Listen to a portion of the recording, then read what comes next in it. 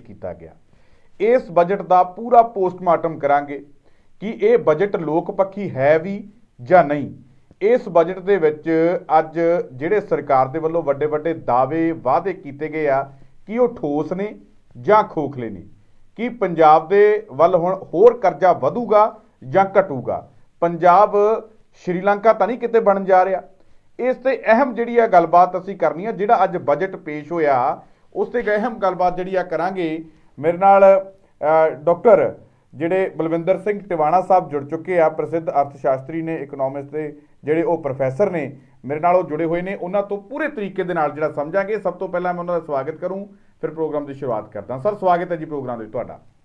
ਧੰਨਵਾਦ ਜੀ ਸ਼ੁਕਰੀਆ ਬਹੁਤ ਸਰ ਅੱਜ ਜਿਹੜਾ ਬਜਟ ਪੇਸ਼ ਹੋਇਆ ਸਭ ਤੋਂ ਪਹਿਲਾਂ ਤਾਂ ਮੈਂ ਇਸੇ ਤੇ ਹੀ ਆਉਣਾ ਪਹਿਲਾਂ ਤਾਂ ਤਰਤੀਬ ਦੇ ਵਿੱਚ ਬਾਅਦ ਚ ਆਉਂਦੇ ਆ ਪਹਿਲਾਂ ਜਿਹੜੀ ਇਹ ਗੱਲ ਕਹੀ ਗਈ ਹੈ ਸਰਕਾਰ ਦੇ ਵੱਲੋਂ, ਬਹੁਤ ਵਧਾ ਚੜਾ ਕੇ ਦੱਸੀ ਗਈ ਹੈ ਕਿ ਸਾਡਾ ਬਜਟ ਜਿਹੜਾ ਉਹ 2 ਲੱਖ ਤੋਂ ਪਾਰ ਚਲਾ ਗਿਆ। 2 ਲੱਖ 4000 ਤੇ 918 ਕਰੋੜ ਦਾ ਕਹਿੰਦੇ ਇਹ ਬਜਟ ਹੈ। ਔਰ ਇਹ ਬੜੀ ਵਧਾ ਚੜਾ ਕੇ ਗੱਲ ਦੱਸੀ ਗਈ ਹੈ। ਕਿਵੇਂ ਦੇਖਦੇ ਹੋ? ਤੁਹਾਡਾ ਐਕਸਪੀਰੀਅੰਸ ਕੀ ਕਹਿੰਦਾ ਇਸ ਬਜਟ ਦੇ ਬਾਰੇ? ਔਰ ਜਿਹੜੇ ਇਹ 2 ਲੱਖ ਪਾਰ ਹੋਣ ਤੇ ਵੀ ਖੁਸ਼ੀ ਮਨਾਈ ਜਾ ਰਹੀ ਹੈ, ਇਸ ਤੇ ਫਿਰ ਆਪਾਂ ਅੱਗੇ ਵਧਦੇ ਹਾਂ।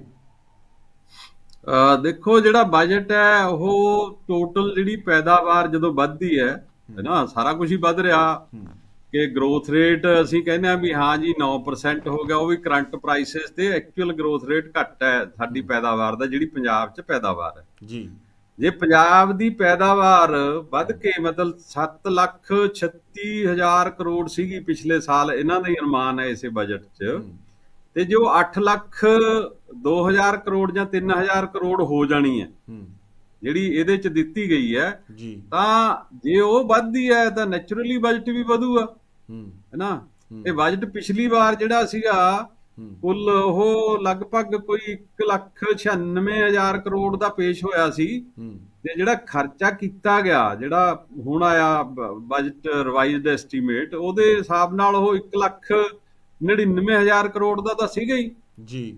ਸੋ ਇਹਦੇ ਚ ਤਾਂ ਇਹਦੇ ਫਿਗਰਸ ਨੇ। ਇਹਦੇ ਚ ਕੋਈ ਪ੍ਰਾਪਤੀ ਨਹੀਂ ਹੈ ਕਿ 2 ਲੱਖ ਤੋਂ ਜ਼ਿਆਦਾ ਹੋ ਗਿਆ ਜਾਂ ਕੀ ਹੋਗਾ ਉਹਨੇ ਤਾਂ ਵਧਣਾ ਹੀ ਆ। ਜੇ ਤੁਹਾਡੀ ਇਨਕਮ ਵੱਧਦੀ ਹੈ ਜੇ ਪੈਦਾਵਾਰ ਵੱਧਦੀ ਹੈ ਫਿਰ ਤੁਹਾਡੇ ਖਰਚੇ ਵੀ ਵਧਣਗੇ। ਜੀ। ਫਿਰ ਤੁਹਾਡੇ ਜਿਹੜਾ ਸਾਰਾ ਕੁਝ ਹੋਏਗਾ ਉਹ ਚ ਇਨਫਲੇਸ਼ਨ ਦਾ ਵੀ ਰੇਟ ਜਿਹੜਾ ਯੋਗਦਾਨ ਹੁੰਦਾ। ਜੇ ਤੁਸੀਂ ਪਿਛਲੀ ਵਾਰੀ 100 ਰੁਪਿਆ ਖਰਚਦੇ ਸੀ ਤੇ ਜੇ 6% ਇਨਫਲੇਸ਼ਨ ਹੋ ਜਾਵੇ ਫਿਰ ਤੁਹਾਡਾ ਖਰਚਾ 106% ਤਾਂ ਵੈਸੇ ਹੀ ਹੋ ਜਾਣਾ। ਹੂੰ ਜੀ। ਸੋ ਇਸ ਲਈ ਇਹ 2 ਲੱਖ ਮਤਲਬ ਪਾਰ ਕਰ ਗਿਆ ਜਾਂ ਇਹ ਕੋਈ ਹਿਸਟੋਰਿਕ ਹੈ ਇਹਦੀ ਇਸ ਤਰ੍ਹਾਂ ਦੀ ਗੱਲ ਨਹੀਂ ਹੈ। ਅਰਥ ਸ਼ਾਸਤਰ ਦੇ ਹਿਸਾਬ ਨਾਲ ਜੇ ਤੁਹਾਡੀ ਪੈਦਾਵਾਰ ਵੱਧਦੀ ਹੈ ਉਹਦੇ ਚ ਬਜਟ ਵੀ ਤੁਹਾਡਾ ਵੱਧਦਾ। ਵਾਧਾ ਬਿਲਕੁਲ। ਇਸ ਲਈ ਇਹਨੇ ਇਹ ਬੜਾ ਨੇੜੇ ਪਹੁੰਚਿਆ ਹੋਈ ਸੀ 1 ਲੱਖ 99000 ਕਰੋੜ ਦਾ ਤੁਸੀਂ ਪਿਛਲੀ ਵਾਰੀ ਜਿਹੜਾ ਆਮਦਨ ਤੇ ਖਰਚਾ ਤੁਹਾਡਾ ਹਿਸਾਬ ਕਿਤਾਬ ਹੈਗਾ ਤੇ ਉਹ ਦੋ ਉਹਦੇ ਚ ਕਿੰਨਾ ਕੁ ਫ਼ਰਕ ਪੈਂਦਾ ਨਾ? ਬਿਲਕੁਲ। 2 ਲੱਖ ਆਪਾਂ ਗੱਲਾਂ ਬਾਤਾਂ ਕਰ ਰਹੇ ਸੀਗੇ ਜਦੋਂ ਆਪਾਂ ਗੱਲਾਂ ਕਰ ਰਹੇ ਸੀ ਕਿ ਜਿਹੜੀਆਂ ਗੱਲਾਂ ਦੱਸਣੀਆਂ ਸੀ ਉਹ ਦੱਸੀਆਂ ਨਹੀਂ ਗਈਆਂ। ਕੁਝ ਗੱਲਾਂ ਛੁਪਾਈਆਂ ਗਈਆਂ। ਹਾਲਾਂਕਿ ਕਿਹੜੇ ਮਹਿਕਮੇ ਦੇ ਲਈ ਕਿੰਨਾ ਬਜਟ ਰੱਖਿਆ ਗਿਆ ਉਹ ਸਿੱਖਿਆ ਲਈ ਜਾਂ ਸਿਹਤ ਲਈ ਜਾਂ ਸਪੋਰਟਸ ਲਈ ਜਾਂ ਹੋਰ ਕਾਸੇ ਲਈ, ਉਹ ਬਹੁਤ ਸਾਰੇ ਮਹਿਕਮਿਆਂ ਦੇ ਲਈ ਜਿੰਨਾ ਬਜਟ ਰੱਖਿਆ ਗਿਆ, ਉਹ ਕਿੰਨਾ ਕੁ ਕਾਫੀ ਹੈ ਜਾਂ ਨਾ ਕਾਫੀ ਹੈ, ਉਹ ਤੇ ਆਪਾਂ ਗੱਲ ਕਰਦੇ ਹਾਂ ਬਾਅਦ 'ਚ। ਪਰ ਕਿਹੜੀਆਂ ਗੱਲਾਂ ਇਸ ਬਜਟ ਦੇ ਵਿੱਚ ਲਕੋਈਆਂ ਗਈਆਂ? ਕਰਜ਼ੇ ਬਾਰੇ ਇਹ ਬਜਟ ਕੀ ਕਹਿੰਦਾ ਹੈ? ਪਿੱਛੇ ਕਿੰਨਾ ਕਰਜ਼ ਲੈ ਲਿਆ? ਕਿਉਂਕਿ ਤੁਹਾਨੂੰ ਯਾਦ ਹੋਣਾ ਡਾਕਟਰ ਸਾਹਿਬ ਪਿਛਲੇ 1-2 ਸਾਲਾਂ ਤੋਂ ਲਗਾਤਾਰ ਸਰਕਾਰ ਕਰ ਰਹੀ ਹੈ ਕਿ ਇਹ ਤਾਂ ਕਹਿੰਦੇ ਸੀ ਕਿ ਅਸੀਂ ਆਪਣਾ ਰੈਵਨਿਊ ਜਿਹੜਾ 54000 ਕਰੋੜ ਤਾਂ ਅਸੀਂ ਕੱਢਿਆ ਪਿਆ, ਜਿਹੜਾ ਅਸੀਂ ਕੱਢ ਲੈਣਾ ਪਰ ਲਗਾਤਾਰ ਜਿਹੜੇ ਇਹ ਕਰਜ਼ ਚੁੱਕੀ ਜਾ ਰਹੇ ਆ, ਲਗਾਤਾਰ ਇਹ ਸਵਾਲਾਂ 'ਚ ਐਡਵਰਟਾਈਜ਼ਮੈਂਟ ਦੇ ਕਰਕੇ, ਜਹਾਜ਼ਾਂ ਦੇ ਕਰਕੇ, ਆਪਣੇ ਖਰਚਿਆਂ ਦੇ ਕਰਕੇ। ਔਰ ਇਸ ਬਜਟ ਦੇ ਵਿੱਚ ਤੁਸੀਂ ਦੱਸਦੇ ਹੋ ਕਿ ਬਹੁਤ ਗੱਲਾਂ ਲਕੋਈਆਂ ਗਈਆਂ ਨੇ। ਕਿਹੜੀਆਂ-ਕਿਹੜੀਆਂ ਗੱਲਾਂ ਲਕੋਈਆਂ ਗਈਆਂ? ਔਰ ਕਰਜ਼ੇ ਦੇ ਬਾਰੇ ਕੀ ਕਹਿੰਦਾ ਹੈ ਕਿ ਪਿੱਛੇ ਕਿੰਨਾ ਚੱਕ ਲਿਆ ਤੇ ਅੱਗੇ ਕਿੰਨਾ ਚੱਕਿਆ ਜਾਣਾ ਹਲੇ ਹੋਰ? ਦੇਖੋ ਮੈਂ ਤੁਹਾਨੂੰ ਨਾ ਥੋੜਾ ਜਿਹਾ ਆਪਾਂ ਇਹਨੂੰ ਬੈਕਗ੍ਰਾਉਂਡ ਜਾਈਏ ਇਹਦੇ ਨਾਲ ਹੀ ਇਕਨੋਮਿਕ ਸਰਵੇ ਆਉਂਦਾ ਆਰਥਿਕ ਸਰਵੇਖਣ ਜਿਹਨੂੰ ਅਸੀਂ ਕਹਿੰਦੇ ਆ ਪੰਜਾਬੀ 'ਚ ਉਹ ਆਉਂਦਾ। ਜੀ। ਇਹ ਬਜਟ ਨੂੰ ਪੜਨ ਤੋਂ ਪਹਿਲਾਂ ਨਾ ਸਾਨੂੰ ਉਹ ਪੜਨਾ ਚਾਹੀਦਾ ਉਹ ਮੈਂ ਥੋੜਾ ਬਹੁਤ ਪੜਿਆ ਜਿੰਨਾ ਕਿ ਮੇਰੇ ਕੋਲ ਟਾਈਮ ਸੀ। ਜੀ। ਪਹਿਲੀ ਸਾਡੀ ਚਿੰਤਾ ਤਾਂ ਇਹ ਹੈ ਕਿ 2022-23 ਦੇ ਵਿੱਚ ਖੇਤੀਬਾੜੀ ਦਾ ਗਰੋਥ ਰੇਟ 2.7% ਸੀ। ਜੀ। ਹੁਣ ਇਸ ਸਾਲ 2023-24 ਚੋਂ ਘਟ ਕੇ 2.4% ਰਹਿ ਗਿਆ ਐਕਚੁਅਲ ਜੀ। ਇਹ ਇਕਨੋਮਿਕ ਸਰਵੇ ਹੈ ਜਿਹੜਾ ਇਸੇ ਸਰਕਾਰ ਨੇ ਹੁਣੀ ਪੇਸ਼ ਕੀਤਾ। ਕੱਲ ਕੱਲ ਪੇਸ਼ ਕੀਤਾ ਹੋਣਾ ਚਾਹੀਦਾ ਉਹ ਇਕਨੋਮਿਕ ਸਰਵੇ ਹੂੰ। ਤੇ ਇਸ ਲਈ ਜਿਹੜਾ ਐਕਚੁਅਲ ਮਤਲਬ ਤੁਹਾਡਾ ਐਗਰੀਕਲਚਰ ਦਾ ਗਰੋਥ ਰੇਟ ਜਿਹੜਾ ਉਹ ਘਟਿਆ ਤੇ ਐਗਰੀਕਲਚਰ ਦਾ ਸਾਡਾ ਹਿੱਸਾ ਜਿਹੜਾ ਪੰਜਾਬ ਦੀ ਟੋਟਲ ਪੈਦਾਵਾਰ ਚੋਂ 27% ਹੈ। ਜੀ। ਠੀਕ ਹੈ ਜੀ? ਹੁਣ 27% ਦੇ ਹਿਸਾਬ ਨਾਲ ਤੁਸੀਂ ਜਿਹੜਾ ਬਜਟ ਆ ਤੁਹਾਡਾ ਹੂੰ। 2 2 ਲੱਖ 4000 917 ਕਰੋੜ ਦਾ। ਜੀ। ਉਹਦੇ ਚੋਂ ਖੇਤੀਬਾੜੀ ਲਈ ਤਾਂ 13784 ਕਰੋੜ ਹੀ ਹੈ। ਜੀ। ਤੇ 13784 ਕਰੋੜ 6.5% ਬਣਦਾ। ਹੂੰ। ਇੱਕ ਖੇਤਰ ਦਾ ਜਿਹੜਾ ਯੋਗਦਾਨ ਆ ਉਹ 27% ਹੈ। ਹੂੰ। ਤੇ ਉਹਨੂੰ ਤੁਸੀਂ ਬਜਟ ਦਾ ਸਿਰਫ 6.5% ਦਿੰਦੇ ਹੋ। ਹੂੰ। ਹੈਨਾ ਜੀ? ਫਿਰ ਖੇਤੀਬਾੜੀ 'ਚ ਕੀ ਬਣੂਗਾ? ਜਿਹੜੀ ਕਿਸਾਨਾਂ ਦੀ ਸਮੱਸਿਆ। ਬਿਲਕੁਲ। ਬਹੁਤ ਵੱਡੀ ਸਮੱਸਿਆ। ਯਾਨੀ ਕਿ ਕਿਸਾਨਾਂ ਲਈ ਬਹੁਤਾ ਲਾਹੇਵੰਦ ਬਜਟ ਨਹੀਂ ਹੈ। ਮਤਲਬ ਉਹਨਾਂ ਕੋਈ ਚੇਂਜ ਨਹੀਂ ਇਹਨੇ ਕਰਨਾ ਜਿੰਨੇ ਖੇਤੀਬਾੜੀ 'ਚ ਲੋੜ ਹੈ ਜਿੰਨੇ ਜਿਹੜੀਆਂ ਇਹ ਗੱਲਾਂ ਦੀ ਲੋੜ ਕਰਦੇ ਜਿੰਨੇ ਵਾਅਦੇ ਦਾਅਵੇ ਕਰਦੇ। ਹਾਂ। ਮਤਲਬ ਜਿਹੜੇ ਕਿਸਾਨ ਹੈ ਉਹਨਾਂ ਦੇ ਸਿਰ ਜਿਹੜੇ ਅੰਦਾਜ਼ੇ ਆ 1 ਲੱਖ 40 ਹਜ਼ਾਰ ਕਰੋੜ ਦੇ ਕਰੀਬ ਦਾ ਕਰਜ਼ਾ ਹੋਇਆ ਵਾ ਉਹਦੇ 'ਚ। 1 ਲੱਖ ਕਰੋੜ ਦਾ ਬੈਂਕਾਂ ਦਾ ਜਿਹੜੀਆਂ ਨੇ ਇੰਸਟੀਟਿਊਸ਼ਨਸ ਉਹਨਾਂ ਦਾ ਹੀ ਹੈ। ਬਾਕੀ ਆੜਤੀਆਂ ਦਾ। ਇੱਕ ਅੰਦਾਜ਼ਾ ਹੈਗਾ ਕਿ 1 ਲੱਖ 40 ਹਜ਼ਾਰ ਕਰੋੜ ਦੇ ਕਰੀਬ ਕਿਸਾਨਾਂ ਸਿਰ ਕਰਜ਼ਾ। ਸੋ ਉਹਨਾਂ ਨੂੰ ਇੰਨਾ ਕੁ ਜਿਹੜੇ ਐਲੋਕੇਸ਼ਨ ਆ ਉਹਦੇ ਨਾਲ ਬਹੁਤ ਕੁਝ ਬਣਦਾ ਨਹੀਂਗਾ ਨੰਬਰ 2 ਕਿ ਫਸਲੀ ਵਿਭਿੰਨਤਾ ਲਈ ਅਸੀਂ 575 ਕਰੋੜ ਰੱਖਿਆ। ਜਿਹੜੀ ਜੌਲ ਸਾਹਿਬ ਦੀ ਰਿਪੋਰਟ ਹੈ 2002 ਦੀ ਹਾਂਜੀ ਵੀ ਜੇ ਤੁਸੀਂ ਇਹ ਇਹ ਚੋਂ ਨਿਕਲਣਾ ਜਿਹੜਾ ਝੋਨੇ ਤੇ ਕਣਕ ਵਾਲੇ ਚੱਕਰ ਚੋਂ ਜੇ ਝੋਨੇ ਦੇ ਥੱਲਿਓਂ ਏਰੀਆ ਘੱਟ ਕਰਨਾ ਤੇ ਜੇ ਮੱਕੀ ਜਾਂ ਹੋਰ ਫਸਲਾਂ ਬਿਜਵਾਉਣੀਆਂ ਨੇ ਤਾਂ ਉਹਨਾਂ ਨੇ ਕਿਹਾ ਸੀ ਕਿ 5000 ਰੁਪਏ ਪ੍ਰਤੀ ਏਕੜ ਇਹਨਾਂ ਨੂੰ ਦਿਓ। ਜੀ। ਉਸ ਵੇਲੇ 2002 ਚ। ਉਹ ਇਹ ਜਿਹੜੀ ਫਸਲੀ ਵਿਭਿੰਨਤਾ 575 ਕਰੋੜ ਨਾਲ ਕੀ ਹੋਣੀ ਹੈ? ਹੂੰ ਬਿਲਕੁਲ ਠੀਕ ਹੈ। ਹਾਂਜੀ?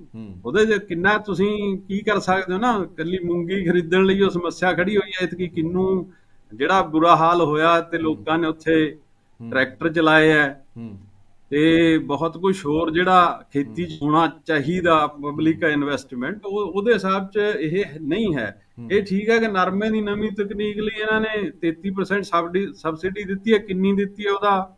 ਪਤਾ ਨਹੀਂ ਖਰਚਾ ਕਿੰਨਾ ਟੋਟਲ ਨਾ। ਜੀ ਜੀ। ਸੋ ਇਸੇ ਤਰ੍ਹਾਂ ਇਹ ਚੰਗੀ ਗੱਲ ਹੈ ਕਿ ਠੀਕ ਹੈ ਇਹਨਾਂ ਨੇ ਦੋ ਤਿੰਨ ਪ੍ਰੋਜੈਕਟ ਖੇਤੀ ਦੇ ਜਿਹੜੇ ਅਸੀਂ ਵੀ ਕਹਿੰਦੇ ਆ ਕਿ ਵੈਲਿਊ ਐਡਡ ਵਾਲੇ ਹੋਣੇ ਚਾਹੀਦੇ ਕਿ ਮਿਰਚਾਂ ਵਾਲਾ ਇੱਕ ਕਹਿੰਦੇ ਆ ਪਲਾਂਟ ਅਸੀਂ ਅਬੋਰ ਲਾਉਣਾ ਤੇ ਕੁਝ ਫਤਿਹਗੜ੍ਹ ਸਾਹਿਬ ਦੇ ਵਿੱਚ ਵੀ ਕਹਿੰਦੇ ਆ ਤੇ ਆਟੋਮੈਟਿਕ ਪਲਾਂਟ ਇੱਕ ਹੋਰ ਲਾਉਣਾ ਹੈ ਨਾ ਜਲੰਧਰ ਚ ਵੀ ਵੈਲਿਊ ਐਡਡ ਦਾ ਉਹ ਚੰਗੀ ਗੱਲ ਹੈ ਇੱਕ ਐਫਰਟ ਚੰਗੀ ਹੈ ਜੀ। ਲੇਕਿਨ ਉਹਦੇ ਲਈ 50 ਕਰੋੜ ਨਾਲ ਜਿਹੜਾ ਬਹੁਤ ਕੁਝ ਨਹੀਂ ਹੁੰਦਾ। ਹੂੰ। 50 ਕਰੋੜ ਦੀ ਸਿਰਫ ਐਲੋਕੇਸ਼ਨ ਹੈ। ਜੀ। ਹੈ ਨਾ ਐਫਰਟ ਚੰਗੀ ਹੈ ਸੋਚ ਚੰਗੀ ਹੈ ਕਿ ਵੈਲਿਊ ਐਡਡ ਕਰੋ ਇੱਥੇ ਵੈਲਿਊ ਐਡੀਸ਼ਨ ਕਰਕੇ ਜੇ ਮਿਰਚਾਂ ਵੀ ਤੁਸੀਂ ਪੈਦਾ ਕਰ ਲਓ ਤੇ ਉਹਨੂੰ ਪ੍ਰੋਸੈਸ ਕਰ ਲਓ ਤੇ ਉਹਦੇ ਮੁਕਾਬਲੇ ਤੇ ਬ੍ਰਾਂਡ ਉਤਾਰ ਦਿਓ। ਹੂੰ। ਤੇ ਚੰਗੀ ਗੱਲ ਆ ਪਰ ਉਹਦੇ ਲਈ ਬਹੁਤ ਵੱਡੀ ਐਫਰਟ ਸਰਕਾਰ ਵੱਲੋਂ ਚਾਹੀਦੀ ਹੈ। ਹੂੰ। ਤੇ ਉਹਦੇ ਚ ਇੰਨੀਓ ਕਹੀ ਗਿਆ ਜੀ ਕਿ ਅਸੀਂ ਐਮਓਯੂ ਸਾਈਨ ਕਰ ਲਿਆ ਸਿਡਬੀ ਨਾਲ। ਹੂੰ। ਸਿਡਬੀ ਜਿਹੜੀ ਆ ਉਹ ਸੰਭਾਲ ਇੰਡਸਟਰੀ ਡਿਵੈਲਪਮੈਂਟ ਬੈਂਕ ਹੈ। ਹੂੰ। ਹੈ ਨਾ ਜੀ। ਉਹ ਹੁਣ ਕਿੰਨਾ ਕੁ ਹੁੰਦਾ ਐਮਓਯੂ ਚ 250 ਕਰੋੜ ਦਾ ਹੈਗਾ ਕਿੱਥੇ ਤੱਕ ਪਹੁੰਚਦੇ ਆ ਕਿ ਨਹੀਂ ਪਹੁੰਚਦੇ ਆ। ਸੋ ਬਹੁਤ ਵੱਡਾ ਬਦਲਾਅ ਜਿਹੜਾ ਇਹ ਠੀਕ ਹੈ ਮੁਫਤ ਜਿਹੜੀ ਬਿਜਲੀ ਹੈ ਉਹ ਜਾਰੀ ਰਹਿਣੀ ਆ ਤੇ 9330 ਕਰੋੜ ਦੀ ਆ ਉਹ ਤੁਸੀਂ ਬੰਦ ਕਰਕੇ ਵੋਟਾਂ ਦਾ ਰਿਸਕ ਵੀ ਨਹੀਂ ਲੈ ਸਕਦੇ ਹੁਣ। ਹੁਣ ਮਤਲਬ ਉਹ ਬੰਦ ਹੋ ਨਹੀਂ ਸਕਦੀ ਹੂੰ ਨਾ ਜੀ? ਉਹ ਹੈਗਾ। ਸੋ ਦੂਜੀ ਤੀਜੀ ਗੱਲ ਹੈਗੀ ਹੈ ਕਿ ਜਿਹੜੇ ਪਾਣੀ ਦੀ ਸਮੱਸਿਆ ਪੰਜਾਬ 'ਚ ਇਹ ਪਿਨ ਪੁਆਇੰਟ ਬਜਟ ਦੇ ਵਿੱਚ ਹੋਈ ਹੈ ਕਿ 114 ਬਲਾ- ਅਹ ਬਲਾਕ 150 ਚੋਂ ਜੀ ਡਾਰਕ ਬਲਾਕ ਹੈ। ਜੀ। ਉਹਦਾ ਮਤਲਬ ਉਹਨਾਂ ਦਾ ਪਾਣੀ ਇੰਨਾ ਥੱਲੇ ਚਲਾ ਗਿਆ ਹੁਣ ਉਹ ਖਤਰੇ ਦੀ ਘੰਟੀ ਵੱਜ ਗਈ। ਹੂੰ। ਤੇ ਬੈਰਨ ਲੈਂਡ ਹੋ ਸਕਦੀ ਹੈ। ਹੂੰ। ਸੋ ਜੇ ਤੁਸੀਂ ਉਹਦੇ ਲਈ ਕਰਨਾ ਜਿੰਨੀ ਐਫਰਟ ਫਿਰ ਹੜ੍ਹਾਂ ਦੇ ਦੌਰਾਨ ਜਿਹੜਾ ਪਾਣੀ ਆਉਂਦਾ ਜੇ ਉਹਨੂੰ ਰੋਕਣਾ ਕੋਈ ਛੋਟੇ ਡੈਮ ਬਣਾਉਣੇ ਆ ਹੂੰ। ਤੇ ਵਾਟਰ ਹਾਰਵੈਸਟਿੰਗ ਵੱਡੇ ਪੱਧਰ ਤੇ ਕਰਨੀ ਹੈ ਜੇ ਤੁਸੀਂ ਸਿੰਜਾਈ ਦੀਆਂ ਟੈਕਨੀਕਸ ਬਦਲਣੀਆਂ ਉਹਦੇ ਲਈ ਵੀ ਬਹੁਤ ਵੱਡੀ ਇਨਵੈਸਟਮੈਂਟ ਚਾਹੀਦੀ ਹੈ। ਹੂੰ। ਉਹ ਨਹੀਂ ਹੈ। ਹੂੰ। ਸੋ ਉਸ ਤਰ੍ਹਾਂ ਦਾ ਜਿਹੜਾ ਅੰਡਰਗਰਾਉਂਡ ਦਾ ਮਤਲਬ ਨਹੀਂ ਹੈ ਇਹ ਠੀਕ ਹੈ ਕੁਝ ਪਸ਼ੂ ਪਾਲਣ ਡੇਰੀ ਫਿਸ਼ਿੰਗ ਦਾ ਕੀਤਾ ਗਿਆ ਉਪਰਾਲਾ। ਸੋ ਕੀਤੇ ਇਹ ਸਾਰਾ ਕੁਝ ਤਾਂ ਹੈ ਲੇਕਿਨ ਜਿਹੜੀ ਗੱਲ ਹੈ ਕਿ ਜਿੰਨੀ ਵੱਡੀ ਇਨਵੈਸਟਮੈਂਟ ਚਾਹੀਦੀ ਹੈ ਤੇ ਜਿੰਨੇ ਸਾਡੀ ਮਾਰਕੀਟਿੰਗ ਚਾਹੀਦੀ ਹੈ ਹੂੰ। ਤੇ ਉਹਦੇ ਚ ਇੱਕ ਡੇਅਰਿੰਗ ਦੇ ਲਈ ਇਹ ਠੀਕ ਹੈ ਇਹਨਾਂ ਨੇ ਕੁਝ ਪਲਾਂਟ ਜਿਹੜੇ ਕੀਤੇ ਆ ਜਿਵੇਂ ਕਿ ਲੁਧਿਆਣੇ ਦਾ ਵੇਰਕਾ ਪਲਾਂਟ ਕਹਿੰਦੇ ਆ। ਅਮੁੱਲ ਬਹੁਤ ਵੱਡਾ ਹੈਗਾ ਤੇ ਉਹਦੇ ਮੁਕਾਬਲੇ ਤੇ ਡੇਅਰਿੰਗ ਕਾਫੀ ਵੱਡੀ ਐਗਰੀਕਲਚਰ ਦੇ ਵਿੱਚ ਕੰਟਰੀਬਿਊਸ਼ਨ ਕਰਦੀ ਹੈ। ਹੂੰ ਹੂੰ ਹੂੰ। ਮਤਲਬ ਜਿਹੜਾ ਸਾਡਾ ਪੰਜਾਬ ਨਾਲ ਭਾਰਤ ਨਾਲੋਂ ਭਾਰਤ ਦੇ ਵਿੱਚ 13-14% ਕੰਟਰੀਬਿਊਸ਼ਨ ਹੈ ਐਗਰੀਕਲਚਰ ਤੇ ਡੇਅਰਿੰਗ ਦੀ। ਜੀ। ਸਾਡੇ ਇੱਥੇ 27% ਆ ਉਹ ਡੇਅਰਿੰਗ ਕਰਕੇ ਹੈ। ਇਹ ਡੇਅਰੀ ਜਿਹੜੀ ਪਸ਼ੂ ਪਾਲਣ ਆ ਉਹਦਾ ਬਹੁਤ ਵੱਡਾ ਯੋਗਦਾਨ ਹੈ। ਸੋ ਉਹਦੇ ਚ ਅਮੁੱਲ ਦੀ ਤਰ੍ਹਾਂ ਜਿਹੜਾ ਨੈਟਵਰਕ ਕ੍ਰੀਏਟ ਕਰਨਾ ਫਾਰਮਰਜ਼ ਨੂੰ ਜੋੜਨਾ ਫਿਰ ਮੈਡੀਕਲ ਜਿਹੜੀਆਂ ਵਹੀਕਲਸ ਮੋਬਾਈਲ ਮੈਡੀਕਲ ਫੈਸਿਲਿਟੀ ਬੈਟਰਨੀ ਉਹ ਅ, ਅ, ਕਰਨੀ। ਗੜਵਾਸੂ ਜਿਹੜਾ ਹੈਗੀ ਹੈ ਯੂਨੀਵਰਸਿਟੀ ਉਹਨੂੰ ਉਤਸ਼ਾਹਤ ਕਰਨਾ ਉਹਦੇ ਲਈ ਵੀ ਕਾਫੀ ਵੱਡੀ ਲੋੜ ਹੈਗੀ ਹੈ ਬਣਦੀ ਹੈ। ਜੀ। ਸੋ ਇਸ ਕਰਕੇ ਇਹ ਜਿਹੜੀਆਂ ਗੱਲਾਂ ਨੇ ਇਹ ਤਾਂ ਹੁੰਦੀਆਂ ਨੇ ਜੇ ਸਾਡੇ ਕੋਲ ਪੈਸਾ ਜਿਹੜਾ ਹੋਵੇ। ਹੂੰ। ਹਾਂਜੀ ਬਿਲਕੁਲ। ਤੇ ਇਹ ਇਹ ਖੇਤੀ ਦੇ ਸੰਬੰਧ ਚ ਜਿਹੜੀ ਮੈਂ ਮੋٹے ਜਿਹੇ ਰੂਪ ਚ ਤੁਹਾਡੇ ਨਾਲ ਗੱਲ ਕਰਦਾ। ਹੂੰ। ਤੇ ਉਹਦੇ ਲਈ ਪੈਸਾ ਚਾਹੀਦਾ। ਤੇ ਪੈਸਾ ਇੰਨੇ ਕੁ ਪੈਸੇ ਨਾਲ ਖੇਤੀ ਦਾ ਬਹੁਤ ਕੁਝ ਆਇਆ ਕੱਲ ਹੋਣ ਵਾਲਾ। ਨਹੀਂ ਲੱਗਦਾ ਕਿ ਇਹ- ਇਹ 13000 ਕਿਸਾਨਾਂ ਨੂੰ ਬਹੁਤ ਉਮੀਦ ਸੀਗੀ ਕਿਉਂਕਿ ਕਿਸਾਨਾਂ ਨੂੰ ਬੜੀ ਉਮੀਦ ਸੀ ਕੋਈ ਕਿਸਾਨ ਅੰਦੋਲਨ ਚੱਲ ਰਿਹਾ ਹੈ ਕਿਸਾਨ ਹਤੈਸ਼ੀ ਹੋਣ ਦੀ ਸਰਕਾਰ ਦਾਅਵੇ ਕਰਦੀ ਹੈ। ਕਿਸਾਨਾਂ ਨੂੰ ਹਲੇ ਵਿਰੋਧੀ ਤਾਂ ਇਹ ਕਹਿੰਦੇ ਸੀਗੇ ਕਿ ਭਾਈ ਤੁਸੀਂ ਐਮਐਸਪੀ ਕਹਿੰਦੇ ਸੀਗੇ ਦੇਣ ਵਾਸਤੇ ਜਾਂ ਤੁਸੀਂ ਕ- ਮੁੱਖ ਮੰਤਰੀ ਉਹ ਤੋਂ ਮੁੱਕਰ ਗਏ ਉਹ ਕਹਿੰਦੇ ਕਿ ਐਮਐਸਪੀ ਨਹੀਂ ਦੇ ਸਕਦੇ ਸਬਸਿਡੀ ਦੇ ਸਕਦੇ ਆ ਉਦੋਂ ਕਹਿੰਦੇ ਸੀ ਵੀ ਕੈਪਟਨ ਕਿਉਂ ਨਹੀਂ ਦਿੰਦਾ? ਵਿਰੋਧੀ ਤਾਂ ਬਿੱਲ ਲੈ ਕੇ ਕਹਿੰਦੇ ਸੀਗੇ ਕਿ ਭਾਈ ਬਿੱਲ ਲੈ ਕੇ ਆਉਣ। ਹੁਣ ਆਸਾਂ ਤਾਂ ਸੀਗੀਆਂ ਹੁਣ ਜਿਹੜੀ ਕਿਸਾਨਾਂ ਦੀਆਂ ਆਸਾਂ ਤੇ ਇਹ ਬਜਟ ਨਹੀਂ ਖਰਾ ਉਤਰਿਆ। ਨਹੀਂ ਉਹੀ ਗੱਲ ਆ ਨਾ ਜੇ 27% ਤੁਸੀਂ ਇਹਦਾ ਕਹਿੰਦੇ ਹੋ ਦਾ 33% ਲਾ ਲਓ ਤੇ ਜੇ 8 ਲੱਖ ਦੀ ਪੈਦਾਵਾਰ ਹੋਣੀ 8 ਲੱਖ ਕਰੋੜ ਦੀ ਤਾਂ ਉਹਦੇ ਚੋਂ ਕੋਈ 2.5 ਲੱਖ ਕਰੋੜ ਦੇ ਕਰੀਬ ਖੇਤੀਬਾੜੀ ਦੀ ਪੈਦਾ ਪੈਦਾਵਾਰ 2.5 ਲੱਖ ਕਰੋੜ ਦੇ ਕਰੀਬ। ਤੇ ਉਹ 2.5 ਲੱਖ ਦੀ ਪੈਦਾਵਾਰ ਦੇ ਲਈ ਤੁਸੀਂ ਜਿਹੜਾ ਬਜਟ ਪ੍ਰੋਵੀਜ਼ਨ ਹੈ 13784 ਕਰੋੜ ਦੀ ਕਰ ਰਹੇ ਹੋ। ਹੂੰ। ਹੈ ਨਾ ਜੀ? ਉਹਦੇ ਨਾਲ ਕਿੰਨੀ ਕਾਇਆ ਕਲਪ ਹੋਗੀ ਹਾਂ। ਕੇਰਲਾ ਦੇ ਵਿੱਚ ਸਬਸਿਡੀ ਜਿਹੜੀ ਹੈ ਦਿੱਤੀ ਜਾਂਦੀ ਐਮਐਸਪੀ ਜਿਹੜੀ ਹੈ ਸਬਜ਼ੀਆਂ ਦੇ ਉੱਤੇ ਵੀ ਦਿੱਤੀ ਜਾਂਦੀ ਹੈ ਕਈ ਹੋਰਾਂ ਤੇ ਵੀ ਦਿੱਤੀ ਜਾਂਦੀ ਹੈ। ਇੱਥੇ ਵੀ ਇਹ ਅਨਾਉਂਸ ਕਰਦੇ ਸੀ ਕਿ ਅਸੀਂ ਦਵਾਂਗੇ। ਤੇ ਸਿਰਫ ਮੂੰਗੀ ਦੇ ਉੱਤੇ ਆ ਕੇ ਰੁਕ ਗਿਆ ਕੰਮ। ਉਹ ਵੀ ਕਿੰਨਾ ਕੁ ਸਕਸੈਸਫੁਲ ਆ ਉਹਦਾ ਹਲੇ ਬਹੁਤ ਕੋਈ ਸੀਰੀਅਸ ਸਟੱਡੀ ਸਾਹਮਣੇ ਆਈ ਨਹੀਂ। ਦਾਵਾ। ਕੀਤਾ ਜਾਂਦਾ ਕਿ ਅਸੀਂ ਖਰੀਦੀ ਪਰ ਕਿਸਾਨ ਕਹਿੰਦੇ ਜੀ ਖਰੀਦੀ ਨਹੀਂ ਗਈ। ਖਰੀਦੀ ਨਹੀਂ ਗਈ, ਉਹ ਵੀ ਇੱਕ ਦੇਖਣ ਵਾਲੀ ਲੋੜ ਹੈਗੀ ਹੈ। ਬਿਲਕੁਲ। ਪਰ ਉਹਦੇ ਲਈ ਕੋਈ ਬਜਟ ਐਲੋਕੇਸ਼ਨ ਨਹੀਂ ਹੈ। ਕਿ ਅਸੀਂ ਪੰਜਾਬ ਦੇ ਵਿੱਚ ਐਮਐਸਪੀ ਕਿਸਾਨਾਂ ਨੂੰ ਦਵਾਂਗੇ ਬਜਟ ਦੇ ਵਿੱਚ ਐਲੋਕੇਸ਼ਨ ਨਹੀਂ ਹੈ ਉਹਦੇ ਹੂੰ, ਹੂੰ ਹੂੰ, ਹੂੰ ਹੂੰ। ਹਾਂਜੀ। ਬਿਲਕੁਲ। ਉਵੇਂ ਦਾ ਕੁਝ ਪ੍ਰਾਵਧਾਨ ਨਹੀਂ ਕੀਤਾ ਗਿਆ ਇੱਕ- ਮਤਲਬ ਇੱਕ ਕਿ ਡਾਕਟਰ ਸਾਹਿਬ ਸਵੇਰ ਦੀ ਨਾ ਇੱਕ ਹੋਰ ਬੜੀ ਗੱਲ ਚੱਲ ਰਹੀ ਸੀਗੀ। ਕਿਉਂਕਿ ਕੱਲ ਬਜਟ ਪੇਸ਼ ਹੋਇਆ ਦਿੱਲੀ ਸਰਕਾਰ ਦਾ। ਦਿੱਲੀ ਸਰਕਾਰ ਨੇ। ਆਪਣੇ ਬੀਬੀਆਂ ਨੂੰ ਜਿਹੜੀ ਆ ਉਹ ਦੇਤੇ 1-1000 ਰੁਪਿਆ ਤੇ ਸਵੇਰ ਦੀ ਚਰਚਾ ਇਹ ਵੀ ਸੀ ਕਿ ਹੋ ਸਕਦਾ ਕਿ ਭਾਈ ਜੇ ਉੱਥੇ ਇਹਨਾਂ ਨੇ ਦੇਤੇ ਉੱਥੇ ਤਾਂ 7 ਸੀਟਾਂ ਹੀ ਨੇ। ਤੇ ਉਹਦੇ ਵਿੱਚੋਂ ਵੀ ਇਹ 4 ਹੀ ਲੜ ਰਹੇ ਆ ਇੱਥੇ ਤਾਂ 13 ਲੜ ਰਹੇ ਆ ਔਰ 13 ਜ਼ੀਰੋ ਹੋਣ ਦਾ ਦਾਅਵਾ ਵੀ ਭਗਵੰਤ ਮਾਨ ਕਰ ਰਹੇ ਆ। ਹੋ ਸਕਦਾ ਕਿ ਇੱਥੇ ਵੀ ਕੋਈ ਹਜ਼ਾਰ ਹਜ਼ਾਰ ਬੀਬੀਆਂ ਨੂੰ ਦੇਣ ਦਾ ਕੋਈ ਫੈਸਲਾ ਹੋ ਜੇ ਇਹੋ ਜਿਹਾ ਕੋਈ ਹੈ ਬਜਟ 'ਚ ਪ੍ਰਾਵਧਾਨ? ਉਹ ਹੈ ਹੀ ਨਹੀਂਗਾ ਜੇ ਹੁੰਦਾ ਤਾਂ ਮੇਰਾ ਖਿਆਲ ਉੱਥੇ ਬਹੁਤ ਹੁੱਬ ਕੇ ਬਹੁਤ ਵੱਡੀ ਪ੍ਰੋਜੈਕਸ਼ਨ ਕਰਕੇ ਅਨਾਉਂਸਮੈਂਟ ਹੁੰਦੀ। ਹਾਂ ਉਹਦਾ। ਕੋਈ ਨਹੀਂ। ਦਿੱਲੀ ਗਵਰਨਮੈਂਟ ਨੇ ਬਜਟ ਪੇਸ਼ ਕਰਦੇ ਹੋਏ ਉੱਥੇ 1000 ਰੁਪਇਆ ਕਰਤਾ ਕਿ 1 ਅਪ੍ਰੈਲ ਤੋਂ ਅਸੀਂ ਦੇਵਾਂਗੇ ਨੈਕਸਟ ਬਜਟ ਤੋਂ। ਉਹਦੇ ਨਾਲ ਹੀ ਹਿਮਾਚਲ ਵਾਲਿਆਂ ਨੇ ਤਾਂ 1500 ਕਰਤਾ। ਕੰਦਰ ਬਿਲਕੁਲ ਬਿਲਕੁਲ। ਹੈ ਨਾ ਜੀ? 1500 ਰੁਪਿਆ ਹਰੇਕ ਜਿਹੜਾ ਹਾਂ ਉਹਨਾਂ ਦਾ ਜਿਹੜਾ ਹੈ ਉਹਨਾਂ ਨੇ ਉਹ- ਉਹਦੀ ਸਕੀਮ ਥੋੜੀ ਵੱਖਰੀ ਆ ਕਿ ਜਿਹੜੇ ਗਵਰਨਮੈਂਟ EMPLOYE ਆ ਜਾਂ ਹੋਰ ਹੈ ਉਹ ਜੋ ਐਕਸਕਲੂਜਨ ਕਰਕੇ ਹੂੰ। ਉਹ ਇੱਕ ਐਸਟੀਮੇਟ ਦੇ ਹਿਸਾਬ ਨਾਲ ਉਹ ਆਪ ਹੀ ਕਹਿੰਦੇ ਕਿ 5 ਲੱਖ ਨੂੰ ਅਸੀਂ ਦੇਣਾ। ਹੂੰ। ਤੇ ਜੇ 5 ਲੱਖ ਨੂੰ ਦੇਣਾ ਤਾਂ 75 ਕਰੋੜ ਰੁਪਇਆ ਪਰ ਮੰਥ ਬਣਦਾ। ਹੂੰ। ਪਰ ਜੇ ਪੰਜਾਬ 'ਚ ਤੁਸੀਂ ਦੇਣਾ ਇਹ ਅਨਾਉਂਸਮੈਂਟ ਕੀਤੀ ਵੀ ਅਸੀਂ ਸਾਰਿਆਂ ਨੂੰ ਦਵਾਂਗੇ। ਜਿਵੇਂ ਦਿੱਲੀ 'ਚ ਵੀ ਕੀਤੀ ਕਿ 18 ਸਾਲ ਤੋਂ ਉੱਤੇ ਵਾਲਿਆਂ ਨੂੰ ਅਸੀਂ ਸਾਰਿਆਂ ਨੂੰ ਦਵਾਂਗੇ। ਹੂੰ। ਤੇ ਜੇ ਤੁਸੀਂ ਸਾਰਿਆਂ ਨੂੰ ਦੇਣਾ ਤਾਂ ਲਗਭਗ 1 ਕਰੋੜ ਦੇ ਕਰੀਬ ਆਬਾਦੀ ਬਣ ਜਾਂਦੀ ਹੈ ਪੰਜਾਬ 'ਚ। ਹੂੰ। ਔਰਤਾਂ ਦੀ। ਤੇ 1000 ਕਰੋੜ ਰੁਪਈਆ ਪਰ ਮੰਥ ਚਾਹੀਦਾ ਤੇ 12000 ਕਰੋੜ ਰੁਪਈਆ ਚਾਹੀਦਾ ਹੂੰ। ਉਹਦੇ ਲਈ। ਹੂੰ। ਸੋ ਮੈਨੂੰ ਲੱਗਦਾ ਕਿ ਜਿੱਡਾ ਵੱਡਾ ਕਰਜ਼ਾ ਇਹਨਾਂ ਨੇ ਲੈਣਾ ਕਿ ਇਸ ਜਿਹੜਾ ਬਜਟ ਆ ਉਹਦੇ ਵਿੱਚ ਹੂੰ। 31000 ਕਰੋੜ ਰੁਪਈਆ ਕਰਜ਼ਾ ਲੈਣ ਦੀ ਮਤਲਬ ਪ੍ਰਪੋਜ਼ਲ ਹੈ। ਅੱਛਾ ਹੋਰ। ਜੇ ਹਾਂ, ਕਰਜ਼ੇ ਦੀ 12,000 ਬਹੁਤ ਡਾਕਟਰ ਮੈਂ ਮੈਂ- ਇਹ ਤੇ ਆਉਣਾ ਚਾਹੂੰਗਾ। ਹਾਂ ਬਿਲਕੁਲ ਤੁਹਾਡੀ ਤੁਸੀਂ ਬਹੁਤ ਵਧੀਆ ਗੱਲ ਕੀਤੀ। ਦੇਖੋ ਜਦੋਂ ਤੋਂ ਇਹ ਸਰਕਾਰ ਬਣੀ ਹੈ ਨਾ ਇਹ ਕਰਜ਼ੇ ਦੀ ਬਹੁਤ ਗੱਲ ਚੱਲ ਰਹੀ ਹੈ ਕਿ ਕਰਜ਼ਾ ਲੈ ਰਹੀ ਹੈ ਕਰਜ਼ਾ ਲੈ ਰਹੀ ਹੈ ਕੱਲ ਵੀ ਇੱਕ ਪ੍ਰੈਸ ਕਾਨਫਰੰਸ ਹੋਈ ਕੁਝ ਡਾਕੂਮੈਂਟ ਵੀ ਲੈ ਫੜੇ ਹੋਏ ਸੀ ਨਵਜੋਤ ਸਿੰਘ ਸਿੱਧੂ ਹੋਰਾਂ ਨੇ ਵੀ ਹੋਰ ਵੀ ਵਿਰੋਧੀ ਜਿਹੜੇ ਗੱਲਾਂ ਕਰਦੇ ਆ। ਉਹ ਕਹਿੰਦੇ ਕਿ ਜੀ ਇਹਨਾਂ ਨੇ ਤਕਰੀਬਨ ਤਕਰੀਬਨ 70000 ਕਰੋੜ ਰੁਪਈਆ ਯਾਨੀ ਕਿ 67 ਤਾਂ ਕਹਿੰਦੇ ਹੀ ਆ ਉਹ ਕਹਿੰਦੇ ਕਿ ਤਕਰੀਬਨ 70000 ਕਰੋੜ ਰੁਪਈਆ ਲੋਨ ਦਾ ਜਿਹੜਾ ਜਿਹੜਾ ਇਹਨਾਂ ਨੇ ਕਰਜ਼ਾ ਜਿਹੜਾ ਉਹ ਇਹਨਾਂ ਨੇ ਲੈ ਲਿਆ। 2 ਸਾਲਾਂ ਦੇ ਵਿੱਚ। ਔਰ ਡਾਕਟਰ ਸਾਹਿਬ ਕਿਵੇਂ ਦੇਖਦੇ ਹੋ ਕਿ ਇਸ ਬਜਟ ਦੇ ਵਿੱਚ ਕਰਜ਼ੇ ਦੇ ਬਾਰੇ ਕੀ ਕਿਹਾ ਗਿਆ? ਕਿ ਅੱਗੇ ਕਿੰਨਾ ਕਰਜ਼ਾ ਹੋਰ ਲੈਣਗੇ? ਕਿ ਲੋੜ ਪਊ ਹੋਰ ਲੈਣ ਦੀ? ਕਿਉਂਕਿ ਇਹ ਤਾਂ ਕਹਿੰਦੇ ਸੀਗੇ ਕਿ ਅਸੀਂ ਜਿਹੜੀਆਂ ਪਾਲਿਸੀਆਂ ਇਹੋ ਜੀਆਂ ਬਣਾ ਦੇਣੀਆਂ ਨੇ ਅਸੀਂ ਜਿਹੜੀ ਉਹ ਕਹਿੰਦੇ ਸੀਗੇ ਕਿ ਅਸੀਂ ਲੀਕੇਜ ਹੀ ਇੰਨੀ ਰੋਕ ਦੇਣੀ ਆ ਕਰਪਸ਼ਨ ਦੀ। ਸਾਨੂੰ ਕਰਜ਼ਾ ਲੈਣ ਦੀ ਲੋੜ ਹੀ ਨਹੀਂ ਪੈਣੀ। ਇਹ ਤਾਂ ਕਹਿੰਦੇ ਸੀ ਕਰਜ਼ਾ ਲੈਣਾ ਤਾਂ ਛੱਡੋ। ਅਸੀਂ ਤਾਂ ਪਿਛਲੇ ਵਾਲਾ ਮੋੜ ਦੇਣਾ। ਅੱਗੇ ਸਾਨੂੰ ਲੈਣ ਦੀ ਲੋੜ ਨਹੀਂ ਪੈਣੀ। ਪਰ ਚਲੋ ਜਿਹੜਾ ਕੁਝ ਚੱਲ ਰਿਹਾ ਆਪਣੇ ਸਾਹਮਣੇ ਹੀ ਆ। ਹੁਣ ਪਿਛਲੇ ਕਰਜ਼ੇ ਬਾਰੇ ਕੀ ਕੁਝ ਕਹਿੰਦੇ ਆ ਤੇ ਅੱਗੇ ਹੋਰ ਵੀ ਲੈਣਾ ਪਊਗਾ ਹਲੇ? ਦੇਖੋ ਇਹਦੇ ਚ ਇਹ ਹੈ ਕਿ ਆਪਾਂ ਇਹਦੀ ਇਵੈਲੂਏਸ਼ਨ ਵੈਸੇ ਇੱਧਰ ਉੱਧਰ ਦੀਆਂ ਨਹੀਂ ਮਾਰਦੇ ਪੰਕੜਿਆਂ ਦੇ ਸਿਰ ਤੇ ਫੈਕਟ ਦੇ ਆਧਾਰ ਤੇ ਆਪਾਂ ਗੱਲ ਕਰਦੇ ਆਂ ਕਿ ਜਿਹੜੀ ਮਾਲੀਆ ਪ੍ਰਾਪਤੀਆਂ ਨੇ ਉਹਦੇ ਚ ਸੁਧਾਰ ਤਾਂ ਹੋਇਆ। ਹੂੰ। ਨਾ ਜੀ? ਪਿਛਲੇ ਸਾਲ 98939 ਰੁਪਏ ਜਿਹੜੇ ਸੀਗੇ ਮਾਲੀਆ ਪ੍ਰਾਪਤੀ ਸੀਗੀ ਜਿਹੜੀ ਇਸ ਵਾਰੀ ਵੱਧ ਕੇ ਮਤਲਬ 103936 ਕਰੋੜ ਦਾ ਅੰਦਾਜ਼ਾ ਕਿ ਹੋ ਜੂਗੀ। ਹੂੰ।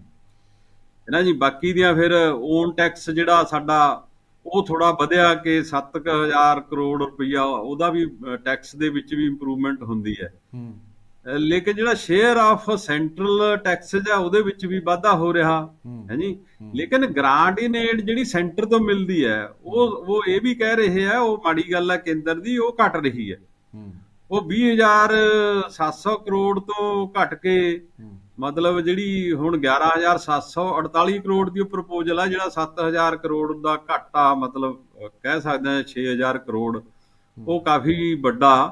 ਤੇ ਉਹ ਮਾੜੀ ਗੱਲ ਆ ਕਿ ਕੇਂਦਰ ਇਸ ਤਰ੍ਹਾਂ ਕਰ ਰਿਹਾ। ਲੇਕਿਨ ਜਦੋਂ ਅਸੀਂ ਇਹਨੂੰ ਟੋਟਲ ਜਿਹੜੀਆਂ ਕਹਿ ਰਹੇ ਹਾਂ ਕਿ ਸਾਡੀਆਂ ਆਮਦਨ ਕਿੰਨੀ ਹੋਊਗੀ ਹੈਨਾ ਸਾਰੇ ਪਾਸਿਓਂ ਸਾਡੇ ਕੋਲ ਆਮਦਨ ਦਾ ਜਿਹੜੀ ਹੈ 146417 ਕਰੋੜ ਦੀ ਹੈ। ਹੂੰ ਹੈ ਜੀ। ਅਸੀਂ ਸਾਰਾ ਕੁਝ ਪਾ ਕੇ ਜੇ ਟੈਕਸਾਂ ਤੋਂ ਕਹੀਏ ਜਿਹੜੀ ਅਸੀਂ ਕੈਪੀਟਲ ਰਸੀਟ ਕਹਿੰਦੇ ਆ ਉਹ ਤਾਂ ਸਾਡੀ 1 ਲੱਖ 3936 ਕਰੋੜ ਆ 1 ਲੱਖ 3936 ਕਰੋੜ ਆ। ਹੂੰ। ਬਾਕੀ ਅਸੀਂ ਫਿਰ ਕੈਪੀਟਲ 'ਚ ਉਹਦਾ ਕਰਜ਼ਾ ਲਵਾਂਗੇ। ਹੂੰ। ਹੈ ਜੀ? ਹੋਰ ਕਰਾਂਗੇ। ਤੇ ਕੈਪੀਟਲ ਤੇ ਜਿਹੜਾ ਮਾਲੀਆ ਜੇ ਦੋਵਾਂ ਨੂੰ ਅਸੀਂ ਆਮਦਨ ਪਾ ਲਈਏ ਤਾਂ 146417 ਕਰੋੜ ਹੋਇਆ। ਅੱਛਾ। ਲੇਕਿਨ ਸਾਡਾ ਬਜਟ ਹੈ 204917 ਕਰੋੜ ਦਾ। ਹੂੰ। ਜੀ। ਇਹ ਜਿਹੜਾ ਬਾਕੀ ਦਾ ਜਿਹੜਾ ਘਾਟਾ ਹੂੰ। ਹੈ ਜੀ ਅ, ਕੋਈ 54 ਅ, 60 ਕਰੋੜ ਦੇ ਕਰੀਬ ਦਾ ਹੂੰ। ਹੈ ਜੀ 58 ਕਰੋੜ 58000 ਕਰੋੜ ਦੇ ਕਰੀਬ ਦਾ ਗੈਪ ਹੈ। ਅੱਛਾ। ਉਹ ਗੈਪ ਕਿੱਥੋਂ ਅਸੀਂ ਭਰਨਾ? ਹੂੰ। ਉਹ ਗੈਪ ਜਿਹੜਾ ਭਰਿਆ ਜਾਂਦਾ ਚਲੋ ਜਿਵੇਂ ਕੁਝ ਅਗਰਾਈਆਂ ਹੁੰਦੀਆਂ ਨੇ ਸਰਕਾਰ ਦੀਆਂ ਕੁਝ ਕਰਜ਼ੇ ਜਿਹੜੇ ਦਿੱਤੇ ਹੁੰਦੇ ਆ ਉਹਦੋਂ ਜੋ ਵਾਪਸੀ ਹੋ ਸਕਦੀ ਹੈ ਜਾਂ ਕੁਝ ਹੋਰ ਹੋ ਸਕਦਾ। ਹੂੰ। ਲੇਕਿਨ ਉਹਦੀ ਟੇਕ ਇਹ ਰੱਖੀ ਗਈ ਹੈ। ਹੂੰ ਕਿ ਜਿਹੜਾ ਜਿਹੜਾ ਸਾਡਾ ਘਾਟਾ ਵਿੱਤੀ ਘਾਟੇ ਵਾਲਾ ਵਜਟ ਹੈ ਇਹ ਕਿ ਪਿਛਲੇ ਵਾਰੀ 30310 ਕਰੋੜ ਦਾ ਘਾਟਾ ਤੇ ਐਤਕੀ 30464 ਕਰੋੜ ਦਾ ਵਿੱਤੀ ਘਾਟਾ ਹੋਊਗਾ ਮਤਲਬ ਨੰਬਰਾਂ 'ਚ ਵੱਧ ਹੋਊਗਾ। ਪਰ ਪਰਸੈਂਟੇਜ ਦੇ ਤੌਰ ਤੇ ਘੱਟ ਹੋਊਗਾ ਠੀਕ ਹੈ ਕਿਉਂਕਿ ਵੱਧ ਗਈ ਸਾਰਾ ਬਜਟ ਹੀ ਟੋਟਲ ਵੱਧ ਗਿਆ।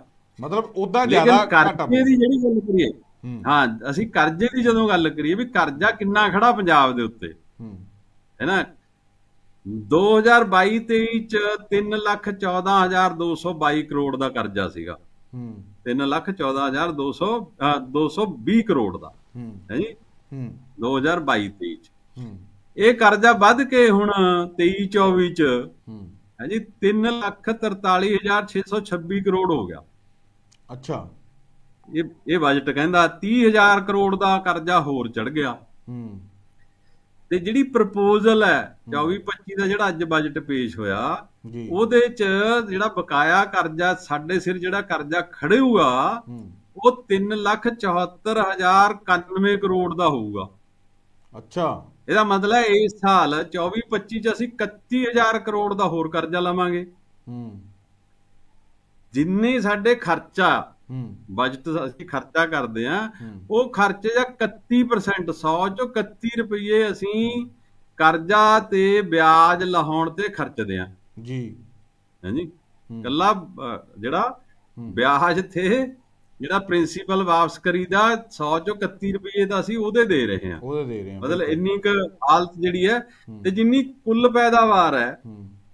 ਜੇ ਮਤਲਬ ਕੁੱਲ ਜਿਹੜੀ ਹੈ ਸਾਡੀ 8 ਲੱਖ 2700 ਦੀ ਇਹਨਾਂ ਨੇ ਅੰਦਾਜ਼ਾ ਲਾਇਆ ਕਿ ਹੋਊਗੀ ਪੈਦਾਵਾਰ ਪੰਜਾਬ 'ਚ। ਅੱਛਾ ਜੀ। ਉਹਦਾ 44% ਸਾਡੇ ਸਿਰ ਕਰਜ਼ਾ ਹੋ ਗਿਆ। ਹੂੰ। ਹਾਂਜੀ ਜਿਹੜੀ ਕਿ ਬਹੁਤ ਵੱਡੀ ਰੇਸ਼ੋ ਹੈ। ਜੀ। ਸੋ ਇਸ ਲਈ ਮਤਲਬ ਤੁਹਾਡੇ ਕੋਲ ਪੈਸਾ ਜਿਹੜਾ ਡਿਵੈਲਪਮੈਂਟ ਅਸਲ 'ਚ ਹੋਣੀ ਹੈ ਜੇ ਤੁਸੀਂ ਸਕੂਲਾਂ ਕਾਲਜਾਂ ਦੀਆਂ ਬਿਲਡਿੰਗਾਂ ਦੀ ਗੱਲ ਕਰਦੇ ਹੋ ਰੋਡ ਦੀ ਗੱਲ ਕਰਦੇ ਹੋ ਹੂੰ। ਜਾਂ ਹੋਰ ਗੱਲ ਗੱਲਾਂ ਕਰਦੇ ਜਿਹੜੀ ਡਿਵੈਲਪਮੈਂਟ ਲਈ ਚਾਹੀਦੀ ਹੈ ਬਿਜਲੀ ਪੈਦਾ ਕਰਨ ਵਾਲੀ ਗੱਲ ਕਰਦੇ ਹੋ ਕਿ ਆਪਾਂ ਆਪਣੀ ਬਿਜਲੀ ਪੈਦਾ ਸਰਕਾਰੀ ਖੇਤਰ 'ਚ ਹੋਊਗੀ। ਜਾਂ ਬਿਨਾਂ ਟਾਲ ਦੇ ਰੋਡ ਬਣਾਓਗੇ ਪਿੰਡਾਂ ਦੀਆਂ ਰੋਡਸ ਬਣਾਓਗੇ ਜਾਂ ਖੇਤੀਬਾੜੀ ਲਈ ਤੁਸੀਂ ਕੋਈ ਇਨਫਰਾਸਟ੍ਰਕਚਰ ਬਿਲਡ ਕਰੋਗੇ ਉਹਦੇ ਲਈ ਤਾਂ ਫਿਰ ਪੈਸੇ ਹੀ ਨਹੀਂ ਬਚਦੇ। ਬਿਲਕੁਲ। ਉਹਦੇ ਲਈ ਤਾਂ ਸਾਰਾ ਜਿਹੜਾ ਕੈਪੀਟਲ ਐਕਸਪੈਂਡੀਚਰ ਆ ਜਿਹੜਾ ਇਸ ਬਜਟ ਦੇ ਵਿੱਚ ਕੈਪੀਟਲ ਐਕਸਪੈਂਡੀਚਰ ਮਤਲਬ ਹੁੰਦਾ ਕਿਹੜਾ ਡਿਵੈਲਪਮੈਂਟ ਤੇ ਖਰਚਾ ਹੋਣਾ ਜਿਹਦੇ ਨਾਲ ਅਸੀਂ ਕੈਪੀਟਲ ਗੁੱਡਸ ਜਿਹੜੀਆਂ ਚੀਜ਼ਾਂ ਨੇ ਉਹ ਸਾਰ ਸਕਦੇ ਆ ਉਹਦਾ ਸਾਰਾ ਹੀ 7475 ਕਰੋੜ ਦੇ ਕਰੀਬ ਰਹਿ ਜਾਂਦਾ। ਹੂੰ। ਡਾਕਟਰ ਸਾਹਿਬ ਇੱਕ ਤੁਸੀਂ ਬੜੀ ਅਹਿਮ ਗੱਲ ਦੱਸੀ ਹੈ ਕਿ ਕਰਜ਼ੇ ਵਾਲੀ ਕਿ ਕਰਜ਼ਾ ਤਾਂ ਹਲੇ ਹੋਰ ਚੱਕਣਾ ਪੈਣਾ ਹੈ। ਇਹ ਕਹਿੰਦੇ ਸੀ ਕਿ ਲੋੜ ਨਹੀਂ। ਪੈਣੀ ਚੱਕਣ ਦੀ। ਇਹ ਗੱਲ ਤਾਂ ਹੈਗੀ ਹੈ। ਡਾਕਟਰ ਸਾਹਿਬ ਹੁਣ ਤੁਸੀਂ ਇਹ ਦੱਸਿਓ ਕਿ ਇਹ ਇਹ ਜਿਸ ਤਰੀਕੇ ਨਾਲ ਦਾਅਵੇ ਕਰਦੇ ਸੀਗੇ ਕਿ ਅਸੀਂ ਇੱਥੋਂ ਇੰਨਾ ਪੈਸਾ ਕੱਢ ਲਿਆਉਣਾ ਤੁਸੀਂ ਲਿਕੁਇਡ ਦੇ ਵਿੱਚ ਦੱਸਿਆ। ਥੋੜਾ ਜਿਹਾ ਦੁਬਾਰਾ ਵੀ ਦੱਸ ਦਿਓ ਕਿ ਵਾਕਈ ਉਹਦੇ ਵਾਲੇ ਪਾਸੇ ਵਾਧੇ ਵਾਲੇ ਪਾਸੇ ਗਿਆ ਕੰਮ? ਤੇ ਇੱਕ ਜਿਹੜਾ ਇਹ ਬਹੁਤ ਵੱਡੀ ਗੱਲ ਕਰਦੇ ਆ ਰੇਤੇ ਦੀ ਮਾਈਨਿੰਗ ਦੀ। ਮਾਈਨਿੰਗ ਦੀ ਕਹਿੰਦੇ ਸੀ ਕਿ। ਹਰ ਸਾਲ ਜਿਹੜਾ ਉਹ 20000 ਕਰੋੜ ਰੁਪਈਆ ਜਿਹੜਾ ਕੱਢ ਲਿਆ ਕਰਨਾ। ਤੇ ਉਹ ਪਿੱਛੇ ਤਾਂ 2 ਸਾਲਾਂ ਦੇ ਵਿੱਚ ਨਿਕਲਿਆ ਨਹੀਂ। ਇਸ ਸਾਲ ਕਿੰਨਾ ਕੁ ਜਿਹੜਾ ਉਹ ਨਿਕਲਿਆ? ਦੇਖੋ ਉਹ ਇਸ ਵਾਰੀ ਵੀ ਕੋਈ ਬਹੁਤ ਵੱਡੀ ਪ੍ਰਾਪਤੀ ਹੈ ਨਹੀਂ ਉੱਥੇ ਹੀ ਕੀ ਹੈ। ਜਿੰਨਾ ਕੁ ਪੁਰਾਣਾ ਉਹ ਕਹਿੰਦੇ ਅਸੀਂ 16 ਖੱਡਾਂ ਹੋਰ ਚਾਲੂ ਕਰਨੀਆਂ ਬਾਕੀ ਤਾਂ ਚਾਲੂ ਹੀ ਨੇ। ਹੂੰ। ਤੇ ਉਹ ਅ, 40 16 ਹੋਰ ਕਰਕੇ ਤੁਸੀਂ ਮਤਲਬ ਕਿੰਨਾ ਕੁ ਪੈਦਾ ਕਰ ਸਕਦੇ ਨਾ? 500 1000 ਕਰੋੜ ਹੋਰ ਪੈਦਾ ਕਰ ਲਓਗੇ ਤੋਂ ਵੱਧ ਹੁੰਦਾ ਨਹੀਂ। ਤੇ ਐਕਸਾਈਜ਼ ਵੀ ਅਸੀਂ 900 ਕਰੋੜ 9000 ਕਰੋੜ ਤੇ ਪਹੁੰਚੇ 600 ਕਰੋੜ ਤਾਂ ਸੀਗੇ ਹੀ ਪਹਿਲਾਂ। ਜਦੋਂ ਆਈ ਸਰਕਾਰ 2022 ਚ ਉਦੋਂ 6000 ਕਰੋੜ ਦੇ ਕਰੀਬ ਆਮਦਨੀ ਸੀਗੀ ਜਿਹੜੀ ਵੱਧ ਕੇ 9000 ਕਰੋੜ 2 ਸਾਲਾਂ ਚ ਹੋ ਗਈ। ਚਲੋ ਚੰਗੀ ਗੱਲ ਹੈ ਠੀਕ ਹੂੰ। ਲੇਕਿਨ ਉਹਦੇ ਚ ਮਤਲਬ ਉਹ ਪ੍ਰਾਪਤੀ ਨਹੀਂ ਹੈ ਜਿਹੜੀ ਅਸੀਂ ਕਹਿੰਦੇ ਸੀਗੇ ਵੀ ਹਾਂ ਜੀ ਤਾਮਿਲਨਾਡੂ ਨਾਲ ਕੰਪੇਅਰ ਕਰਕੇ ਅਸੀਂ ਕਰ ਲਾਂਗੇ।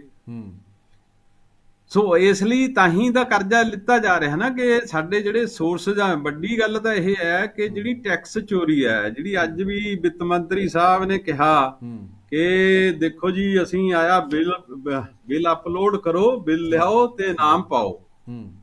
ਹੈਨਾ ਹੂੰ। ਇੱਕ ਉਹਨਾਂ ਨੇ ਇਹ ਕਿਹਾ ਉਹਦੇ ਚ ਕਿੰਨੇ ਬਿੱਲ ਆਏ ਜੀ ਜਿਹੜੇ ਸੀਗੇ ਨਾ ਮਤਲਬ ਕੁਝ 60000 ਕਹਿੰਦੇ ਬਿੱਲ ਅਪਲੋਡ ਹੋਏ ਹੂੰ।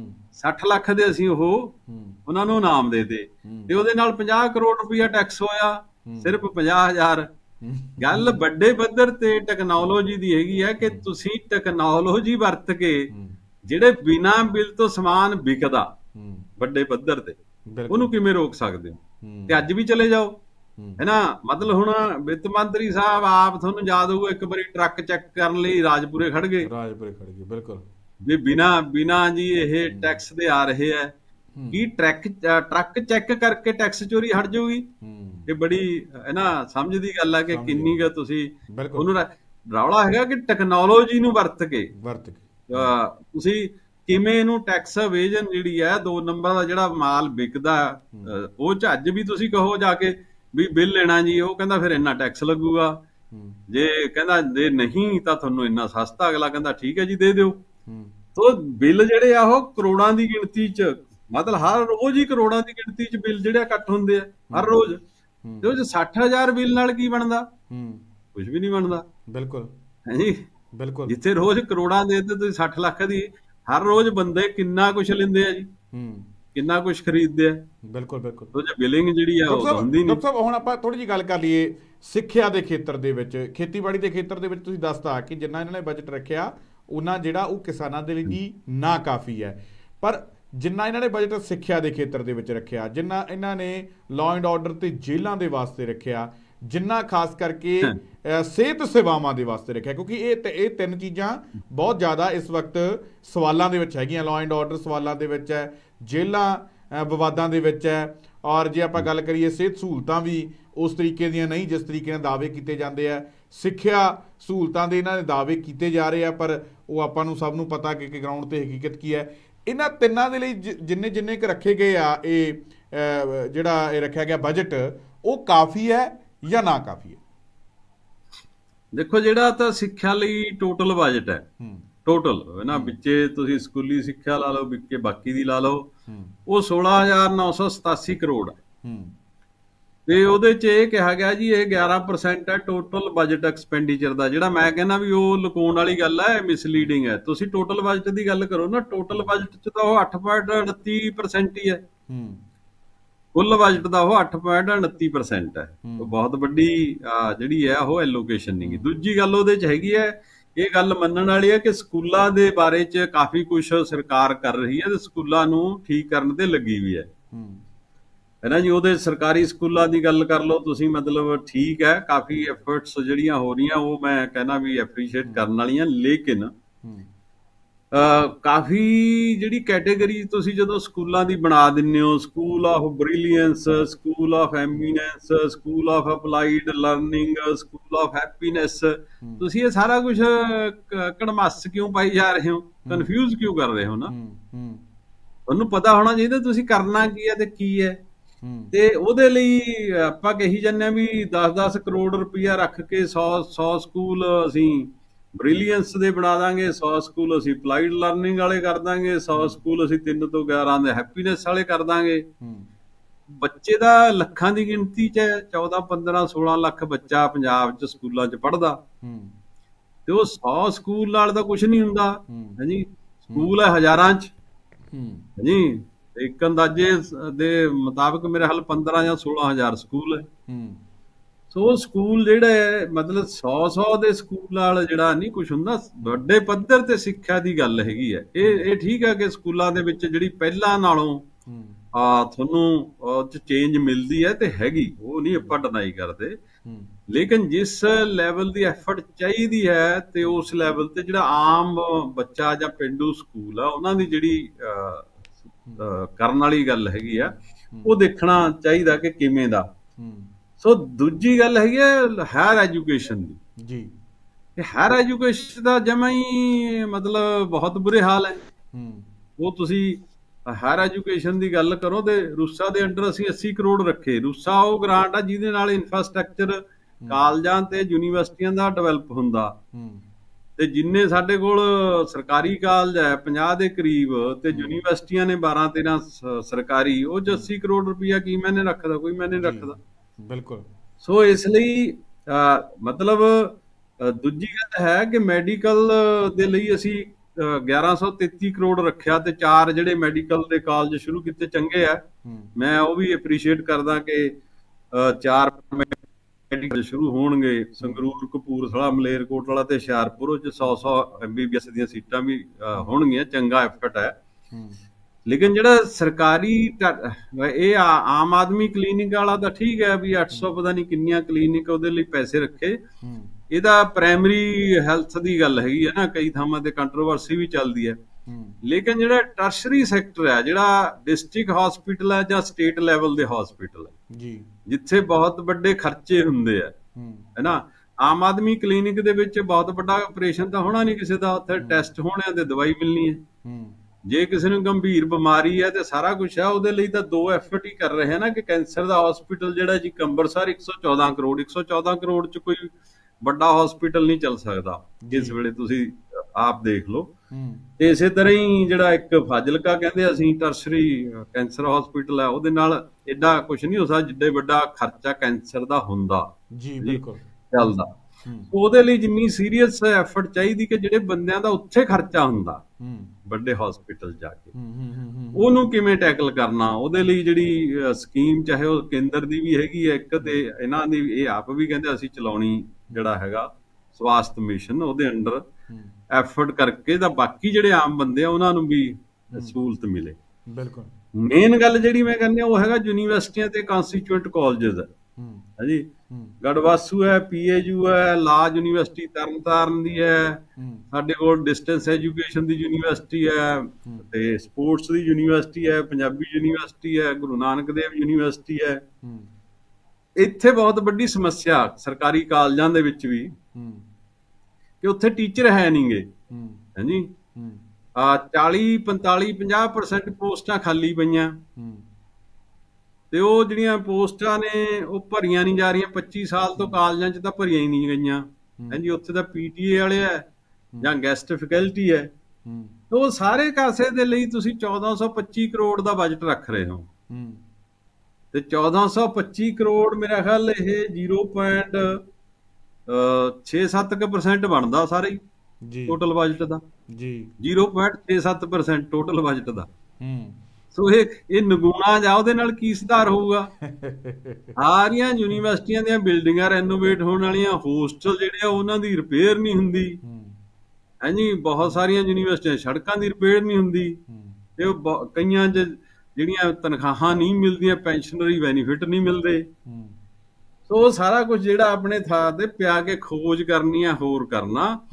ਤੇ ਉਹਦੇ ਤੇ ਵੱਡੇ ਪੱਧਰ ਤੇ ਖਰਚਾ ਕਰਨ ਦੀ ਲੋੜ ਆ ਉਹਦੇ 1425 ਕਰੋੜ ਕੋਈ ਮਤਲਬ ਮਾਇਨਾ ਹੀ ਨਹੀਂ ਰੱਖਦਾ। ਹੂੰ। ਇਸ ਨੂੰ ਇਸ ਸੰਦਰਭ ਵਿੱਚ ਦੇਖ ਸਕਦੇ ਹੋ ਕਿ ਤੁਸੀਂ ਹੂੰ। ਕੱਲੀ ਹੂੰ। ਜਿਹੜੀ ਪਾਵਰ ਸਬਸਿਡੀ ਹੈ ਜੀ। ਹੈਨਾ? ਜੀ। ਉਹ 20200 ਕਰੋੜ ਦੀ ਹੈ। ਹੂੰ। ਕੱਲੀ ਪਾਵਰ ਦੀ ਸਬਸਿਡੀ ਉਹਦੇ ਚ ਆ ਖੇਤੀਬਾੜੀ ਵਾਲੀ ਹੈ ਹੈ ਜੀ ਜੀ? 9330 ਜੀ ਤੇ 300 ਯੂਨਿਟ ਜਿਹੜੇ ਫ੍ਰੀ ਆ 7780 ਕਰੋੜ ਆ ਉਹਦਾ। ਹੂੰ। ਉਹ ਨਿਰੀ ਬੋਰਡ ਪੋਲਿਟਿਕਸ ਹੈ ਉਹ ਚ ਹੋਰ ਕੁਝ ਨਹੀਂ ਮੈਂ ਉਹਦੇ ਉਹਦੇ ਤੇ ਦੋ ਗੱਲਾਂ ਕਰਨੀਆਂ। ਜੀ। ਕਿ ਜਿਹੜੀ 300 ਯੂਨਿਟ ਹੈ ਉਹ ਤੁਸੀਂ ਉਹਨਾਂ ਨੂੰ ਦਿਓ ਜਿਹਦੇ ਕੋਲ 1 ਕਿਲੋਵਾਟ ਜਾਂ 2 ਕਿਲੋਵਾਟ ਦਾ ਲੋਡ ਆ ਬਾਕੀ ਛੱਡ ਦਿਓ ਬਾਕੀ ਸ਼ਾਇਦ ਬਿਲਕੁਲ। ਹੈਨਾ।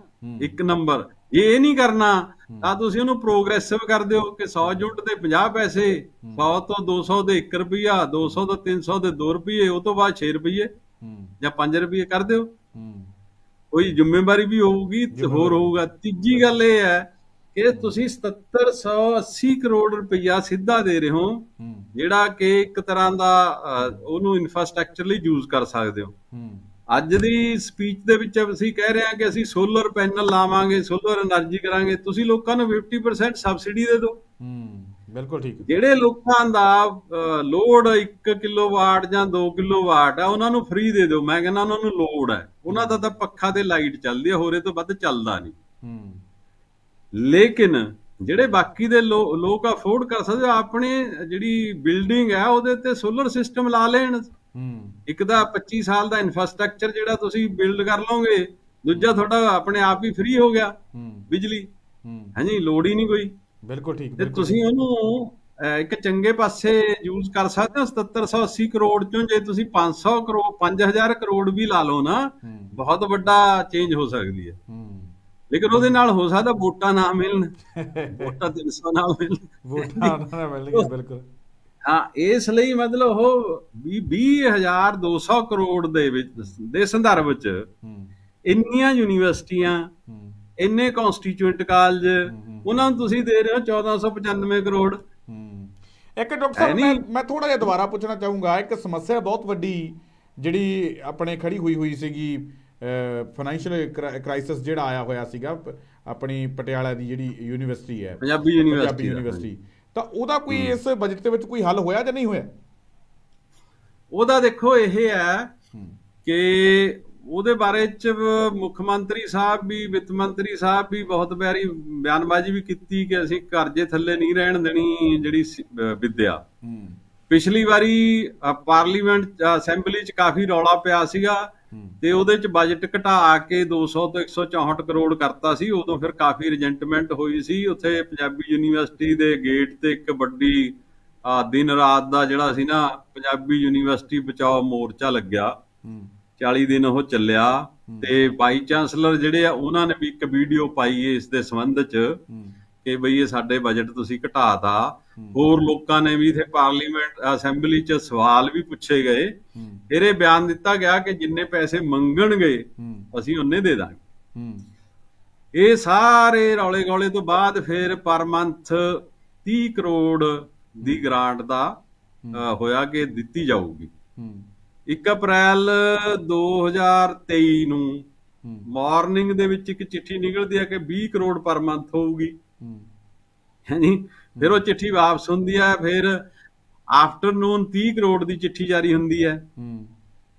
ਉਸ ਤੋਂ ਬਾਅਦ ਇਹ ਚੱਲਦਾ 6 ਮਹੀਨੇ 6 ਮਹੀਨੇ ਤੋਂ ਬਾਅਦ ਫਿਰ ਇੱਕ ਚਿੱਠੀ ਆ ਜਾਂਦੀ ਹੈ ਕਿ ਤੁਹਾਡੀ ਗ੍ਰਾਂਟ ਤਾਂ ਜੀ 20 ਕਰੋੜ ਪਰ ਮੰਥ ਹੀ ਹੋਊਗੀ ਉਹਦੇ ਹਿਸਾਬ ਨਾਲ 60 ਕਰੋੜ 3 ਮਹੀਨੇ ਦੀ ਉਹ ਦਿੱਤੀ ਜਾਂਦੀ ਹੈ। ਹੂੰ। ਫਿਰ ਇਹ ਰੌਲਾ ਪੈਂਦਾ ਰਿਪਰੈਜ਼ੈਂਟੇਸ਼ਨ ਜਾਂਦੀਆਂ ਹੋਰ ਹੁੰਦਾ ਫਿਰ 30 ਕਰੋੜ ਕੀਤੀ ਜਾਂਦੀ ਹੈ। ਹੂੰ।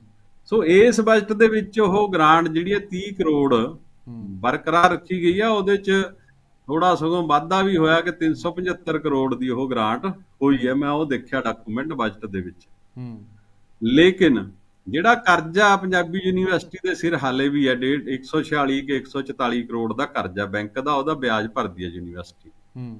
ਉਹ ਵੀ ਉਤਾਰਨ ਦੀ ਲੋੜ ਹੈ ਤੇ ਬਹੁਤ ਸਾਰੇ ਲੋਕਾਂ ਨੂੰ ਇੱਥੇ ਪੈਨਸ਼ਨਰੀ ਬੈਨੀਫਿਟ ਹਾਲੇ ਮਿਲੇ ਨਹੀਂ। 2022 ਤੋਂ ਲੈ ਕੇ ਬਾਅਦ ਵਾਲਿਆਂ ਨੂੰ ਮਿਲੇ ਨਹੀਂ। ਉਹਨਾਂ ਨੂੰ ਵੀ ਦੇਣਾ ਚਾਹੀਦਾ ਹੈ।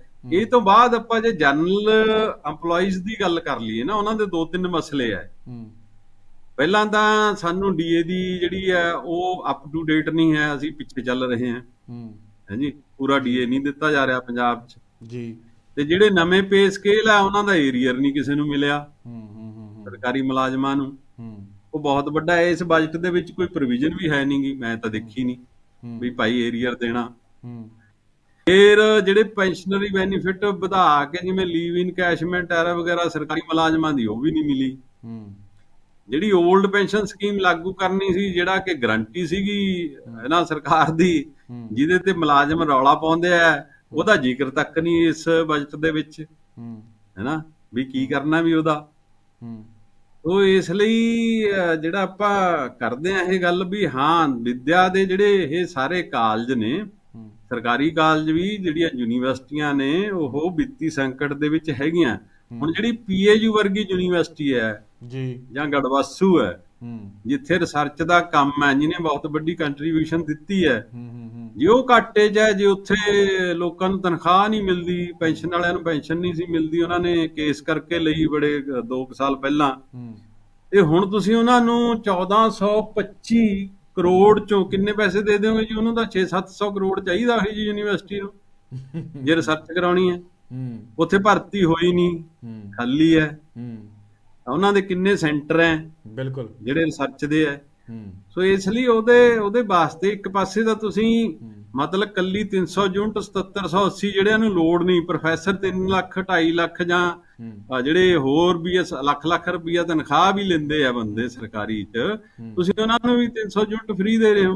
ਉਹਨਾਂ ਨੂੰ ਵੀ ਦੇ ਰਹੀ ਹਾਂ। ਜਿਹਦੇ ਕੋਲ 35 40 ਕਿੱਲੇ ਆ ਬਿਜ਼ਨਸਮੈਨ ਆ ਵੱਡਾ ਹਾਂਜੀ ਉਹਨੂੰ ਵੀ ਦੇ ਰਹੇ ਹੋ। ਦਿੰਦੇ ਸਸਤੀ ਦੇ ਦਿੰਦੇ ਕਹਿਣ ਦਾ ਭਾਵ ਸਸਤੀ ਦੇ ਦਿੰਦੇ ਤਾਂ ਇਹ ਹੋ ਜਾਣਾ ਸੀ ਨਾਲੇ ਤਾਂ ਸਰਕਾਰ ਨੂੰ ਪੈਸਾ ਬਣ ਜਾਣਾ ਸੀ ਨਾਲੇ ਜਿਹਨੂੰ ਮਹਿੰਗੀ ਮਿਲਦੀ ਸੀ ਉਹਨੂੰ ਸਸਤੀ ਹੋ ਜਾਂਦੀ ਉਹਦੇ ਲਈ ਵੀ ਫਾਇਦਾ ਦੋਨਾਂ ਨੂੰ ਫਾਇਦਾ ਹੋ ਜਾਣਾ ਸੀ। ਹਾਂ, ਉਹ ਇਹ ਬਜਟ ਤੁਸੀਂ ਯੂਨੀਵਰਸਿਟੀਆਂ ਤੇ ਕਾਲਜਾਂ ਦੇ ਦਿਓ ਨਾ ਜਿੱਥੇ ਲੋਕਾਂ ਦਾ ਬੱਚਿਆਂ ਦਾ ਭਵਿੱਖ ਬਣਨਾ ਜਿਹੜੇ ਬੱਚੇ ਬਾਹਰ ਨੂੰ ਜਾ ਰਹੇ ਆ ਹਾਲੇ ਵੀ ਨਹੀਂ ਰੁਕੇ।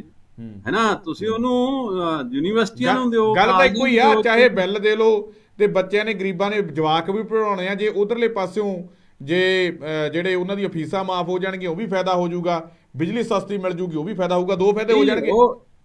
ਜਿਹੜੇ ਬਿਊਰੋਕਰੇਟ ਹੂੰ, ਬੈਠੇ ਪੰਜਾਬ ਦੇ ਉਹ ਯੂਨੀਵਰਸਿਟੀਆਂ ਨੂੰ ਨਵੀਂ ਜਿਹੜੀ ਨੀਤੀਆਂ ਨੇ ਉਹਦੇ ਤਹਿਤ ਇਹ ਪ੍ਰੈਸ਼ਰਾਈਜ਼ ਕਰਦੇ ਤੁਸੀਂ ਆਪਣੀਆਂ ਫੀਸਾਂ ਵਧਾਓ।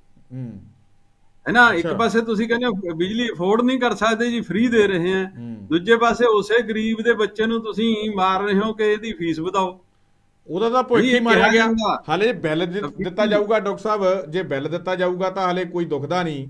ਤੇ ਜਦੋਂ ਫੀਸ ਦੇਣ ਦੇ ਵਾਂਝਾ ਰਹਿ ਗਿਆ ਜਵਾਕ ਤੇ ਉਹਦਾ ਭੁੱਖ ਹੀ ਖਰਾਬ ਹੋ ਜਾਣਾ ਸਾਰਾ। ਬਹੁਤ ਸਾਰੇ ਬੱਚੇ ਐ ਜਿਹੜੇ ਇਸ ਗੱਲ ਤੋਂ ਵਾਂਝੇ ਰਹਿੰਦੇ ਐ ਹੂੰ ਕਿ ਉਹ ਸਿੱਖਿਆ ਨਹੀਂ ਲੈ ਸਕਦੇ। ਤੇ ਉਹ ਉਹਨਾਂ ਨੂੰ ਪ੍ਰੈਸ਼ਰ ਉਹ ਸਗੋਂ ਗ੍ਰਾਂਟ ਦੇਣ ਲਈ ਯੂਨੀਵਰਸਿਟੀ ਨੂੰ ਅੱਗੇ ਕਹਿੰਦੇ ਆ ਵੀ ਤੁਸੀਂ ਫੀਸ ਵਧਾਓ। ਤੁਸੀਂ ਆਪਣੇ ਰਿਸੋਰਸਸ ਪੈਦਾ ਕਰੋ ਜੀ। ਰਿਸੋਰਸ ਪੈਦਾ ਯੂਨੀਵਰਸਿਟੀਆਂ ਤੇ ਕਾਲਜਾਂ ਦਾ ਰਿਸੋਰਸ ਕੀ ਹੈ। ਜੀ ਵਿਦਿਆਰਥੀਆਂ ਦੇ ਫੀਸ ਤੇ ਫੰਡ ਫੀਸ ਤੇ ਹੂੰ ਬਿਲਕੁਲ। ਜਾਂ ਫਿਰ ਯੂਜੀਸੀ ਤੋਂ ਥੋੜੀ ਵਾਲੀ ਗ੍ਰਾਂਟ ਮਿਲਦੀ ਹੈ ਤਾਂ ਅੱਗੇ ਤਾਂ ਹੈ ਨਹੀਂ ਕੁਝ ਬਿਲਕੁਲ ਸਰਕਾਰਾਂ ਨਹੀਂ ਦੇਣੀਆਂ ਨੇ ਗ੍ਰਾਂਟ। ਹੂੰ ਹੂੰ ਹੂੰ ਮਤਲਬ ਯੂਨੀਵਰਸਿਟੀਆਂ ਨੂੰ ਗ੍ਰਾਂਟ ਜਿਹੜੀ ਸਰਕਾਰਾਂ ਦਿੰਦੀਆਂ ਰਹੀਆਂ 91 92 93 ਤੱਕ ਜਿੰਨਾ ਟੋਟਲ ਉਹਨਾਂ ਦਾ ਖਰਚਾ ਸੀ ਉਹਦੇ ਨਾਲੋਂ ਵੱਧ ਗ੍ਰਾਂਟ ਆਉਂਦੀ ਸੀਗੀ। ਗ੍ਰਾਂਟ ਆਉਂਦੀ ਸੀ ਬਿਲਕੁਲ। ਹੈਨਾ ਇਨਫਰਾਸਟ੍ਰਕਚਰ ਬਣਦਾ ਸੀ ਬਿਲਡਿੰਗਾਂ ਬਣਦੀਆਂ ਸੀਗੀਆਂ। ਤੇ ਅਸੀਂ ਹੁਣ ਜਿਹੜਾ ਉਹਨੂੰ ਉਹਨਾਂ ਵੀ ਨਹੀਂ ਚੱਕਣ ਲਈ ਤਿਆਰ ਹੈਗੇ। ਤਿਆਰ ਨਹੀਂ ਹੈ। ਇਸੇ ਲਈ ਭਰਤੀਆਂ ਨਹੀਂ ਹੋ ਰਹੀਆਂ ਖਾਲੀ ਹੋਏ ਵੇ ਡਿਪਾਰਟਮੈਂਟ ਹੂੰ ਚਲੋ। ਡਾਕਟਰ ਸਾਹਿਬ ਉਧਰ ਜੇਲ੍ਹਾਂ ਅਤੇ ਗ੍ਰਹਿ ਵਿਭਾਗ ਦੇ ਲਈ 10635 ਕਰੋੜ ਰੁਪਇਆ ਰੱਖਿਆ ਗਿਆ। ਇਹਨੂੰ ਤੁਸੀਂ ਕਿੰਨਾ ਕੁ ਸਮਝਦੇ ਹੋ? ਦੇਖੋ ਇਹ ਦੋਵੇਂ ਚੀਜ਼ਾਂ ਨਾ ਜਿਹੜੀਆਂ ਸੋਸਾਇਟੀ ਦੇ ਵਿੱਚ ਜੇ ਤੁਸੀਂ ਉਹਨੂੰ ਕੋਰਿਲੇਟ ਕਰਦੇ ਹੋ ਕਿ ਜੇ ਤੁਸੀਂ ਐਜੂਕੇਸ਼ਨ ਤੇ ਚੰਗੀ ਐਜੂਕੇਸ਼ਨ ਜਾਂ ਸੋਸ਼ਲ ਜਿਹੜੇ ਇੰਸਟੀਟਿਊਸ਼ਨ ਹੈ ਵਧੀਆ ਸਿਰਜ ਲਓ ਫਿਰ ਉਹਨਾਂ ਕ੍ਰਾਈਮ ਘਟ ਜਾਂਦਾ। ਹੈ। ਨਾ ਜੀ? ਇਹ ਬਜਾਏ ਤੁਸੀਂ ਜੇਲ੍ਹਾਂ ਤੇ ਪੁਲਿਸ ਤੇ ਹੋਰ ਤੇ ਖਰਚਾ ਕਰੋ ਉਹਦੀ ਬਜਾਏ ਇੱਕ ਚੰਗਾ ਸਮਾਜ ਸਿਰਜਣ ਲਈ ਤੁਸੀਂ ਉਹ ਐਫਰਟ ਕਰੋ ਕਿ ਜਿਹੜਾ ਖੇਡਾਂ ਦੀ ਗੱਲ ਹੈ ਜਾਂ ਫਿਰ ਸੋਸ਼ਲ ਜਿਹੜੇ ਥੀਏਟਰ ਦੀ ਗੱਲ ਹੈ ਕਿ ਹਾਂ, ਚੰਗਾ ਥੀਏਟਰ ਹੋਵੇ, ਡਰਾਮਿਆਂ ਵਾਲਾ ਹੋਵੇ ਤੇ ਹੋਰ ਕਿਸੇ ਇੰਗੇਜਮੈਂਟ 'ਚ ਹੋਵੇ ਤੇ ਤੀਜੀ ਗੱਲ ਹੈਗੀ ਹੈ ਕਿ ਹਾਂ, ਰੁਜ਼ਗਾਰ ਪੈਦਾ ਹੋਵੇ ਬੱਚੇ ਜਿਹੜੇ ਕਿਸੇ ਰੁਜ਼ਗਾਰ 'ਚ ਲੱਗਣ। ਹੈ ਇਹ ਚੰਗਾ ਕਿ ਇਸ ਸਰਕਾਰ ਨੇ ਸ਼ੁਰੂ 'ਚ ਕਹਿੰਦੇ ਅਸੀਂ 40 ਹਜ਼ਾਰ ਨੂੰ ਰੁਜ਼ਗਾਰ ਦਿੱਤਾ। ਉਹ ਚੰਗਾ ਕਿ ਠੀਕ ਹੈ ਵਧੀਆ ਦਿੱਤਾ ਲੇਕਿਨ ਉਹ ਜਿਹੜੀ ਮੈਂ ਗੱਲ ਕਰਦਾ ਵੀ ਕੁਛ ਨੂੰ ਦਾ ਉਹ ਰਜਗਾਰ ਜਿਹੜਾ ਨਾ ਨੰਬਰਾਂ 'ਚ ਹੀ ਹੈ ਕਿ ਜਿਵੇਂ ਕਿਹਾ ਗਿਆ ਕਿ 12316 ਟੀਚਰ ਅਸੀਂ ਰੈਗੂਲਰ ਕਰਤੇ। ਹੂੰ ਹੂੰ ਹੂੰ। ਉਹ ਰੈਗੂਲਰ ਕਿਹੜੇ ਨਿਯਮ ਦੇ ਅਧੀਨ ਜਿਹੜੇ ਆ ਨਾ ਸੀਐਸਆਰ ਰੂਲਸ ਜਿਹਦੇ ਤੇ ਲਾਗੂ ਹੁੰਦੇ ਉਹਦੇ ਅਧੀਨ ਤਾਂ ਹੋਏ ਨਹੀਂ ਉਹ ਰੈਗੂਲਰ ਬਿਲਕੁਲ। ਤਾਂ ਤੁਸੀਂ 5 ਤੋਂ ਉਹਨਾਂ ਨੂੰ 15000 ਦਿੱਤਾ ਜਾਂ 7 ਤੋਂ 18000 ਦਿੱਤਾ ਜਾਂ 20000 ਦਿੱਤਾ। ਅੱਜ ਕੱਲ ਜਿਹੜਾ 20000 ਨਾਲ ਕਿਸੇ ਦਾ ਪਰਿਵਾਰ ਕਿਵੇਂ ਚੱਲਦਾ ਮੈਨੂੰ ਨਾ? ਸਮਝ ਤੋਂ ਮੇਰੀ ਤੋਂ ਤਾਂ ਬਾਹਰ ਹੈ। ਤੇ ਤੁਸੀਂ ਉਹਨੂੰ ਕਹਿੰਦੇ ਜੀ ਅਸੀਂ ਰੈਗੂਲਰ ਕਰਦੇ ਹੈ। ਨਾ? ਇਹ ਇਹ ਵੀ ਇੱਕ ਬੜਾ ਵੱਡਾ ਹੋ ਹੈ ਨਾ ਕਿ ਜਿਹੜੀ ਜਿਹੜੀ ਤੁਸੀਂ ਭਰਤੀ ਹੈ ਜਾਂ ਜਿਨ੍ਹਾਂ ਨੂੰ ਰੈਗੂਲਰ ਕਰਦੇ ਹੋ ਕੀ ਉਹਨਾਂ ਨੂੰ ਪ੍ਰੋਪਰ ਗ੍ਰੇਡ ਜਿਹੜੇ ਹੁਣ ਲੱਗੂ ਉਹਦੇ ਚ ਕਰਦੇ ਹੋ? 58 ਸਾਲ ਤੇ ਉਹ ਰਿਟਾਇਰ ਹੋਣਗੇ। ਉਹਨਾਂ ਨੂੰ ਸਾਰੇ ਪੈਨਸ਼ਨਰੀ ਬੈਨੀਫਿਟ ਮਿਲਣਗੇ। ਫਿਰ ਤਾਂ ਉਹ ਰੈਗੂਲਰ ਹੈ। ਅਦਰਵਾਈਜ਼ ਜਿਹੜਾ ਇਹ ਹੈਗਾ ਨਾ ਜਿਵੇਂ ਗਾਰੰਟੀ ਹੈ ਉਹ ਸ਼ਬਦ ਜਿਹੜਾ ਗਰੰਟੀ ਵਾਲਾ ਨਾ ਉਹਦਾ ਮਤਲਬ ਕਨਸੈਪਟ ਹੀ ਜਿਹੜਾ ਉਹ ਐਸੀ ਉਹਦੀ ਮਤਲਬ ਤੁਸੀਂ ਮਿਸਯੂਜ਼ ਕਰਿਆ ਕਿ ਗਰੰਟੀ ਦਾ ਭਾਈ ਮਤਲਬ ਕੀ ਹੁੰਦਾ ਉਹਨੂੰ ਹੀ ਮਿਸਯੂਜ਼ ਕਰਕੇ ਕੁਝ ਹੋਰ ਹੀ ਬਣਾਤਾ। ਬਿਲਕੁਲ ਉਹ ਮੋਦੀ ਸਰਕਾਰ ਨੇ ਹੀ ਬਣਾਇਆ ਨਾ ਮੋਦੀ ਕੀ ਗਰੰਟੀ ਹੈ। ਨਾ ਇਹ ਨਵਾਂ ਕੰਮ ਚੱਲ ਰਿਹਾ ਮੋਦੀ ਕੀ ਗਰੰਟੀ ਜਾਂ ਕਿਹਦੀ ਗਰੰਟੀ? ਮਤਲਬ ਸ਼ਬਦ ਕਨਸੈਪਟ ਦੀ ਗੱਲ ਹੈ।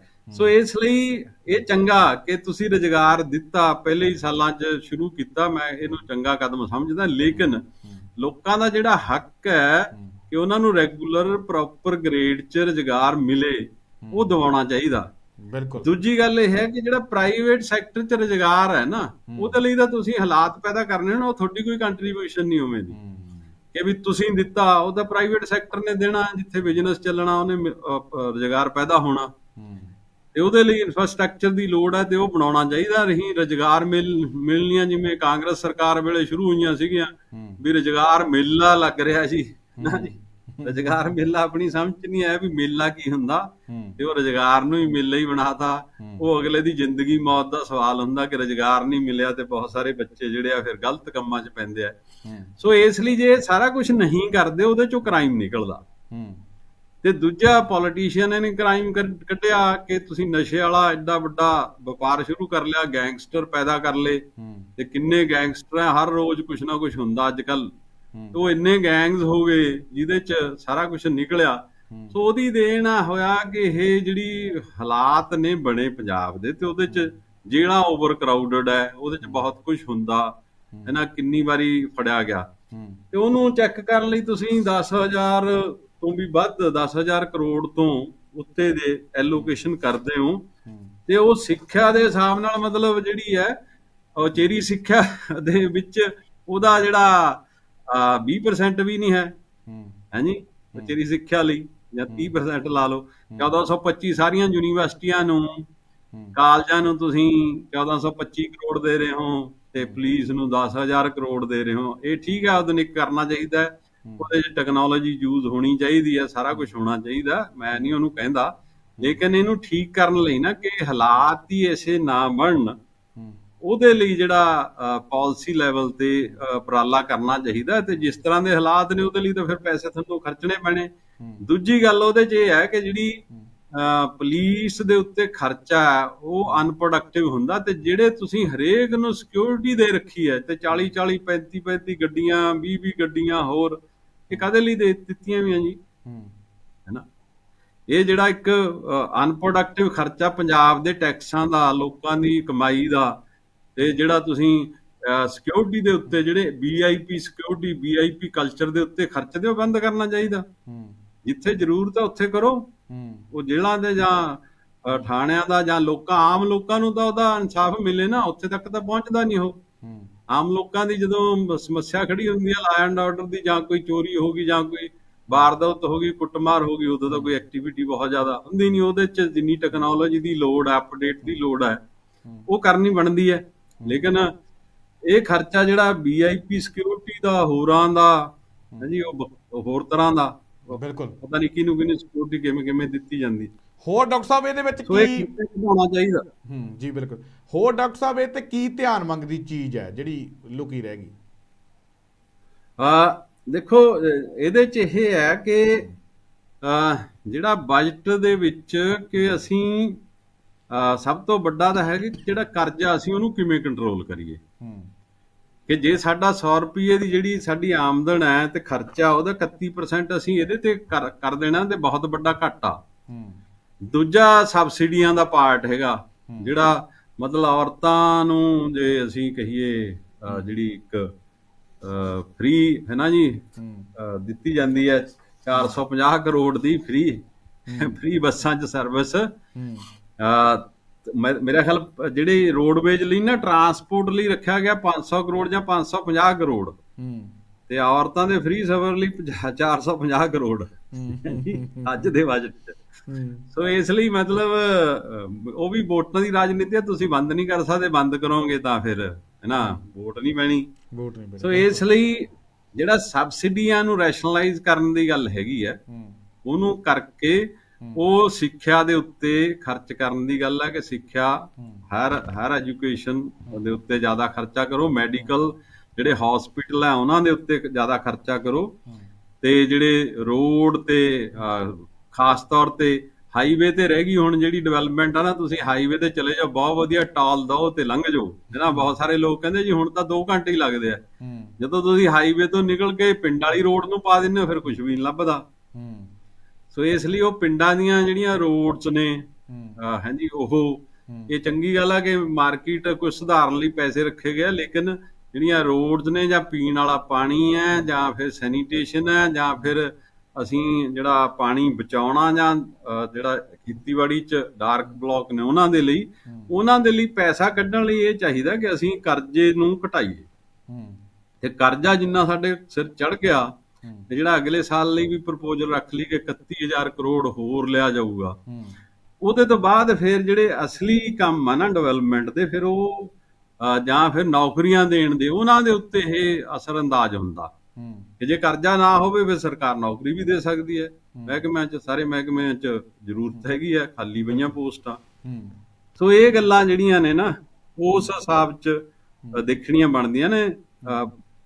ਜਿਹੜੀਆਂ ਕਿ ਹਾਈਲਾਈਟ ਵਿੱਤ ਮੰਤਰੀ ਸਾਹਿਬ ਦੀ ਸਪੀਚ ਹਾਈਲਾਈਟ ਨਹੀਂ ਹੁੰਦੀਆਂ ਜਿਹੜੀ ਮੈਂ ਗੱਲ ਕਰਦਾ। ਅਦਰਵਾਈਜ਼ ਹੈਗੀਆਂ। ਹੈਗੀਆਂ ਨੇ ਬਿਲਕੁਲ। ਡਾਕਟਰ ਸਾਹਿਬ ਬਸ ਜਾਂਦੇ ਜਾਂਦੇ ਮੈਂ ਤੁਹਾਡੇ ਤੋਂ ਬੜੇ ਥੋੜੇ ਸ਼ਬਦਾਂ ਸਮਝਣਾ ਚਾਹੂੰਗਾ ਕਿਉਂਕਿ ਇੱਕ ਨਿਚੋੜ ਹੁੰਦਾ ਨਾ ਨਿਚੋੜ। ਹੁਣ ਪ੍ਰੋਗਰਾਮ ਦਾ ਮੈਂ ਨਿਚੋੜ ਸਮਝਣਾ ਚਾਹੂੰਗਾ ਕਿ ਇਹ ਬਜਟ ਨੂੰ ਤੁਸੀਂ ਕਿੰਨੇ ਕ ਨੰਬਰ ਦਿੰਨੇ ਆ 10 ਦੇ ਵਿੱਚੋਂ? ਔਰ ਕਿੰਨੇ ਕ ਲੋਕਾਂ ਦੀ ਆਸਾਂ ਤੇ ਖਰਾ ਉਤਰਿਆ? ਆ ਦੇਖੋ ਜਿੱਥੋਂ ਤੱਕ ਖੇਤੀਬਾੜੀ ਦੀ ਹੈ ਉਹ 'ਚ ਬਹੁਤ ਕੁਝ ਨਹੀਂ ਹੈ। ਤੇ ਅਯੋਗ ਲਈ ਜ਼ੋਰ ਲਾਇਆ ਰਹੇ ਆ ਅਯੋਗ ਨੂੰ ਦਿੱਤਾ ਵੀ ਜਾ ਰਿਹਾ ਲੇਕਿਨ ਉਸ ਲੈਵਲ ਤੇ ਅਸੀਂ ਅਯੋਗ ਦੇ ਵਿੱਚ ਵੀ ਨਹੀਂ ਗਏ। ਅਸੀਂ ਕਹਿੰਦੇ ਆ ਵੀ ਹਾਂ ਜੀ ਇਨਵੈਸਟਮੈਂਟ ਹੋਈ ਹੈ।